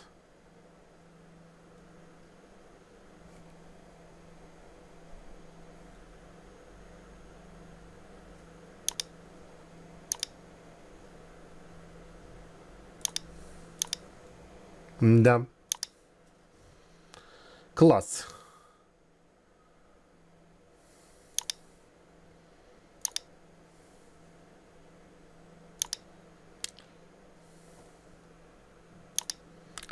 Люблю, когда документация не, не соответствует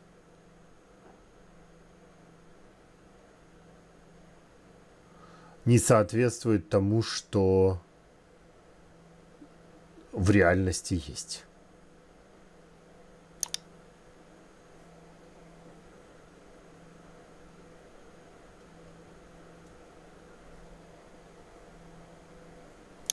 Ну окей. Если мы переключимся на другие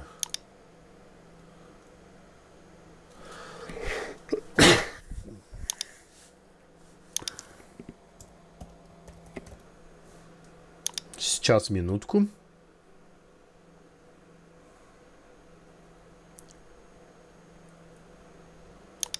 Давайте ID.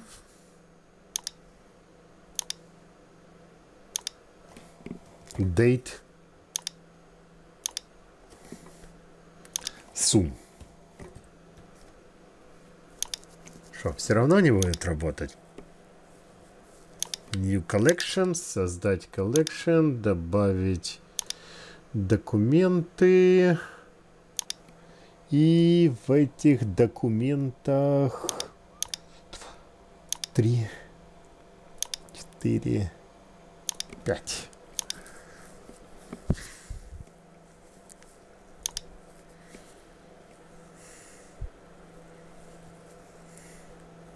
Рекомендуется больше загружать документов, но в принципе...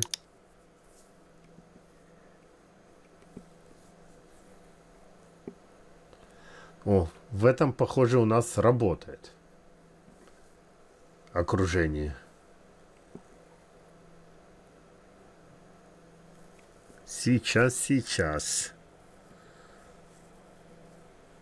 Next, next, next, next. Итак, что нам нужно сделать? Смотрите, у нас есть некая форма документа. А в этой форме документа присутствуют некоторые, а, соответственно, поля. Мы можем выбрать, какое поле будет чему соответствовать. В реальности, например, мы говорим о том, что ID это вот это поле, а дата это вот это поле. Сумма это вот это поле. Первый документ закончен. Второй документ. А мы говорим о том, что вот это ID, а вот это дата, вот это сумма. Третий документ. А, значит, вот это у нас ID, вот это date, вот это sum. Четвертый документ.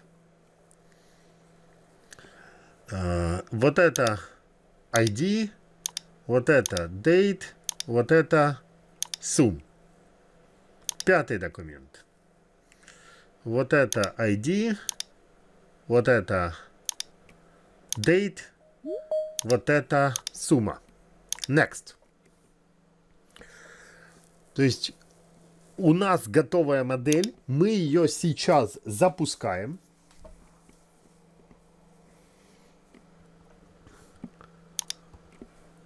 И теперь она будет тренироваться. После того, как она натренируется, мы можем использовать данную модель внутри наших workflow или внутри чего-либо. Например, для предыдущего workflow которые мы говорили, да, при получении файлика. Мы можем проверить, что файлик является PDF. Мы можем проверить о том, что он содержит в себе нужную форму. Мы можем потом отправить, вызвать в а, соответствующем flow есть вызовы BI, пока оно тренируется, мы можем вернуться к нашей...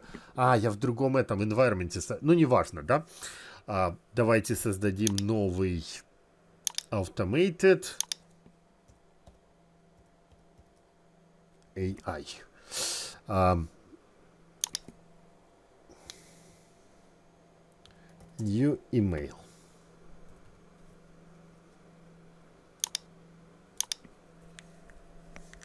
New email в инбоксе, обязательно с attachment, include attachment yes, а, фильтр importance high, фильтр invoice.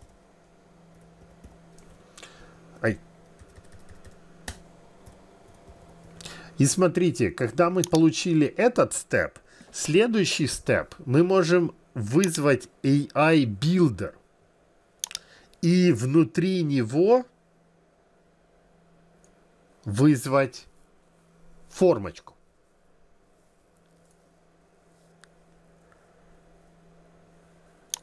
Взять существующую модель. Она еще не оттренировалась. Давайте запишем. Так, удалим. Не хочешь записываться?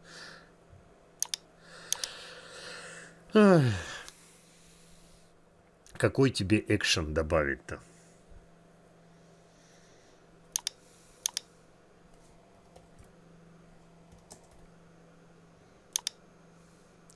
Send email to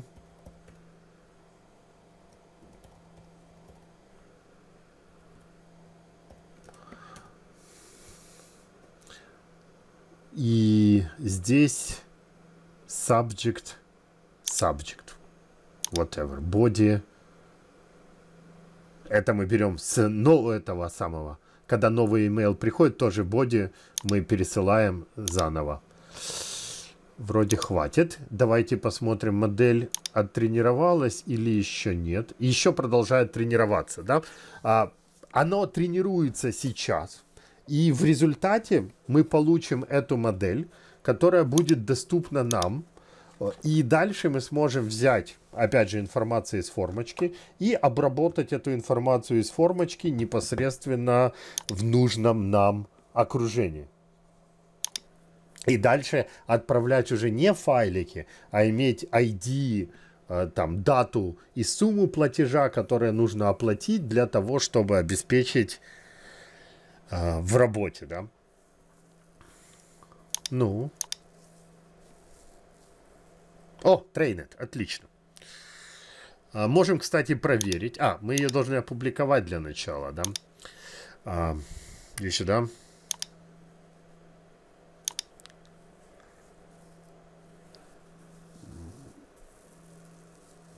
Publish.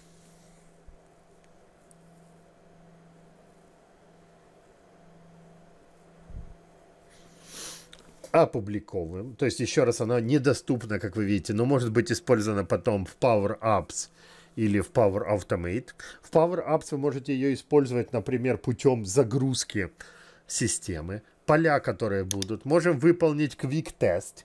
Я сейчас подгружу форму, которую я ей не давал.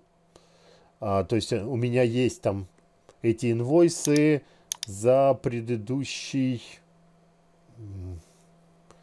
год. Давайте возьмем... Эм, я давал какую... Ага, вот. Вот сейчас я подгружу вот это. Обратите внимание, она анализирует. О, это перевернуто, кстати, интересно будет. А, не, нашло, смотрите. Сумма ID, uh, date. Close. Работает? Работает. Поэтому переходим назад к нашим приложи... приложениям, я сказал. А, sorry, flows. Uh, редактируем наше flow. Теперь вместо того, чтобы делать send email, хотя пусть будет, в середине, добавляем новую action, которая будет AI контент, которая будет формочкой. Как видите, там есть identity documents и прочее. My test. Uh, from the type PDF. И обратите внимание, вам даже не надо думать, что туда переслать. Система настолько умная, что понимает, что где-то вот только в attachment контенте есть соответствующий контент. Уловили идею? Теперь вот это надо затащить сюда. Потому что дальше мы возьмем invoice ID, ID и укажем ID value. А здесь у нас будет date и укажем date value. А здесь у нас будет payment. И укажем сумма. Save. Тест. Ждем. Оно идет в работе. Так, только я забыл. А, инвойс надо добавить и все. Теперь мы отправляем опять имейл на нашу страничку. Опс, нет, не отсюда. Извиняюсь. Отсюда. А, это должно быть пойти на Игорь. А, sorry. Игорь SH. Полисервис. Uh, subject invoice. И далее мы кидаем туда инвойсик и отправляем.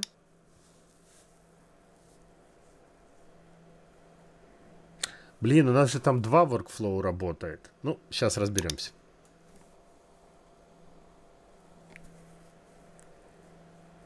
Кто первый? Хотя, по идее, оба должно сработать.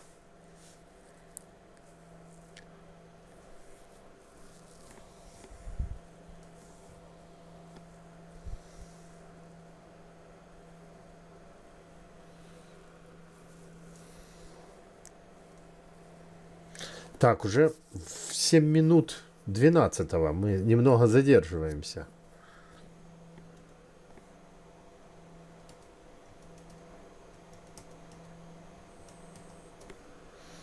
Чтобы проверить, пришло ли письмо, вроде не пришло еще. Те предыдущие пришли, а это еще нет. Ну и где?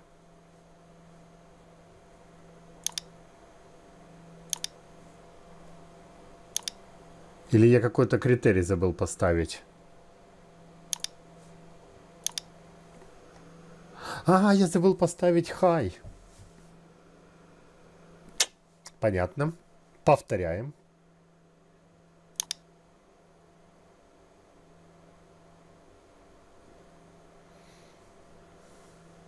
Сейчас, минуточку. Форвард.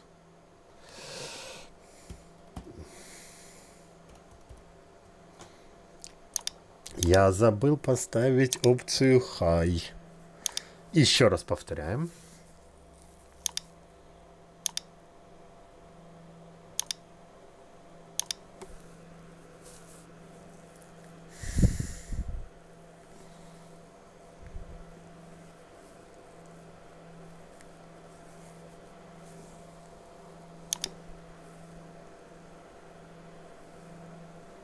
Хм.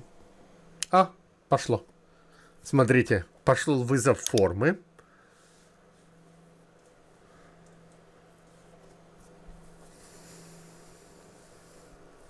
Форма отработала. Все результаты здесь. И можно увидеть, что она мне отправила в качестве письма. То есть ID 003, 03 7 2017 8 тысяч, как и ожидалось. И по идее сейчас мне на email должен был прийти вот такой вот вариант. То есть э, ID invoice и так далее. А кто сомневается в том, что этот документ правильный, вот оригинальный документ, который я отправлял. А, чтобы убедиться в том... Там же второй workflow тоже должен был сработать. А, вот он, чтобы убедиться, что он это он. Вот он пришел. 8 03 2021 10 07 2021. Оно? Я тоже думаю, что оно. Вопросы?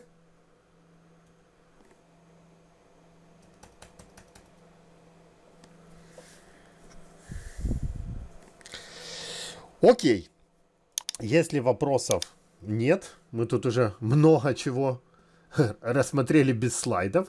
А, единственное, что чат-бот уже, к сожалению, времени нет, но мы об этом а, рас, э, уже рассматривали, разговаривали ранее. Отдельная была даже тема про чат-боты. Можете попросить запись. А большое спасибо за внимание. Еще раз напомню, как со мной связаться и тому подобное. Есть на YouTube видео. Можете заглянуть на LinkedIn. Что-то, что-то никто за сегодня не присылал приглашение на LinkedIn. Нету ни одного. Вопросы?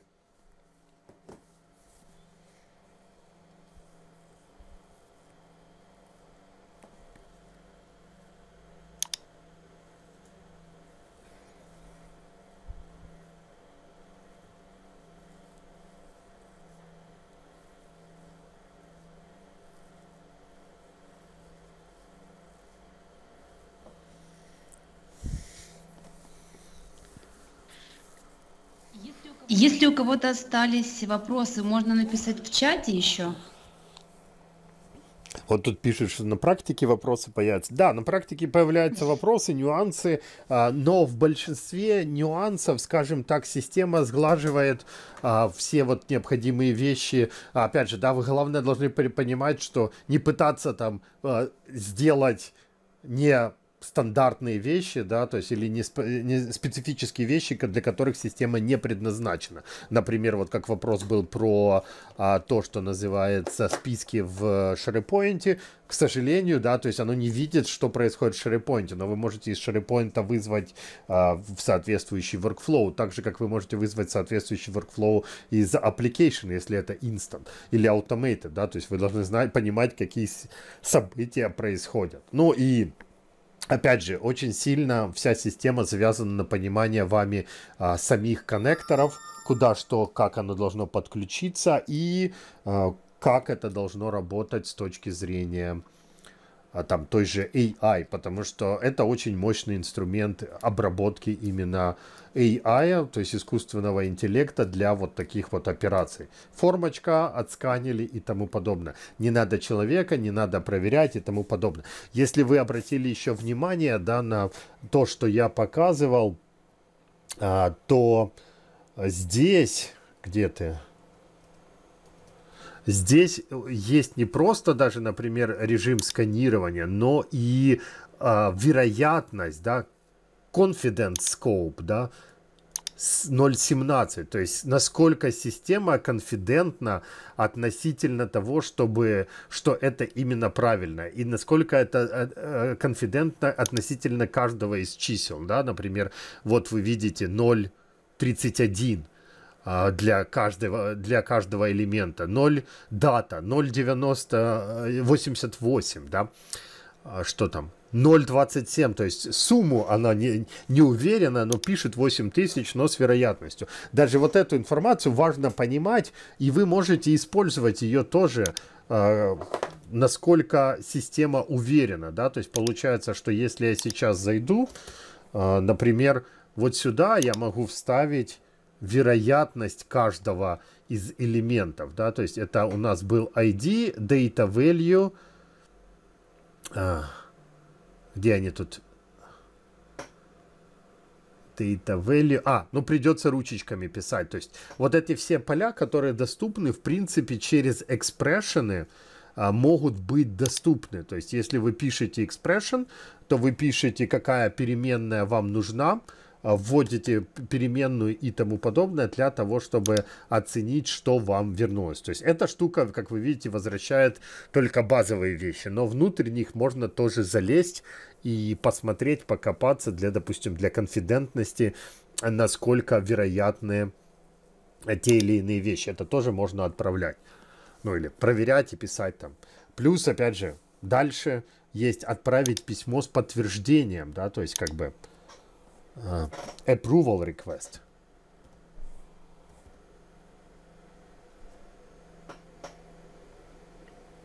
Send and wait the approval. Система будет ждать, пока вы не это самое. Approve reject. А, вот. И система будет отправляете approval, ждете, что так и так выполняем то-то, то-то, то-то, да. И Э, ждете, подтверждает, не подтверждает, например, вносит данные. Ну, то есть нюансов и сценариев очень много. Еще вопросы?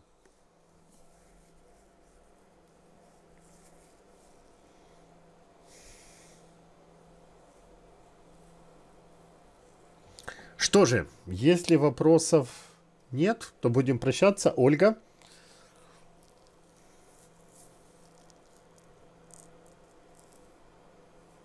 Ольга ничего не хочет добавить. Тогда большое спасибо за участие. О, одна ссылочка пришла на LinkedIn. И тогда увидимся в ближайшее время. У нас следующий доклад, посвященный Azure Virtual Desktop. И всего хорошего.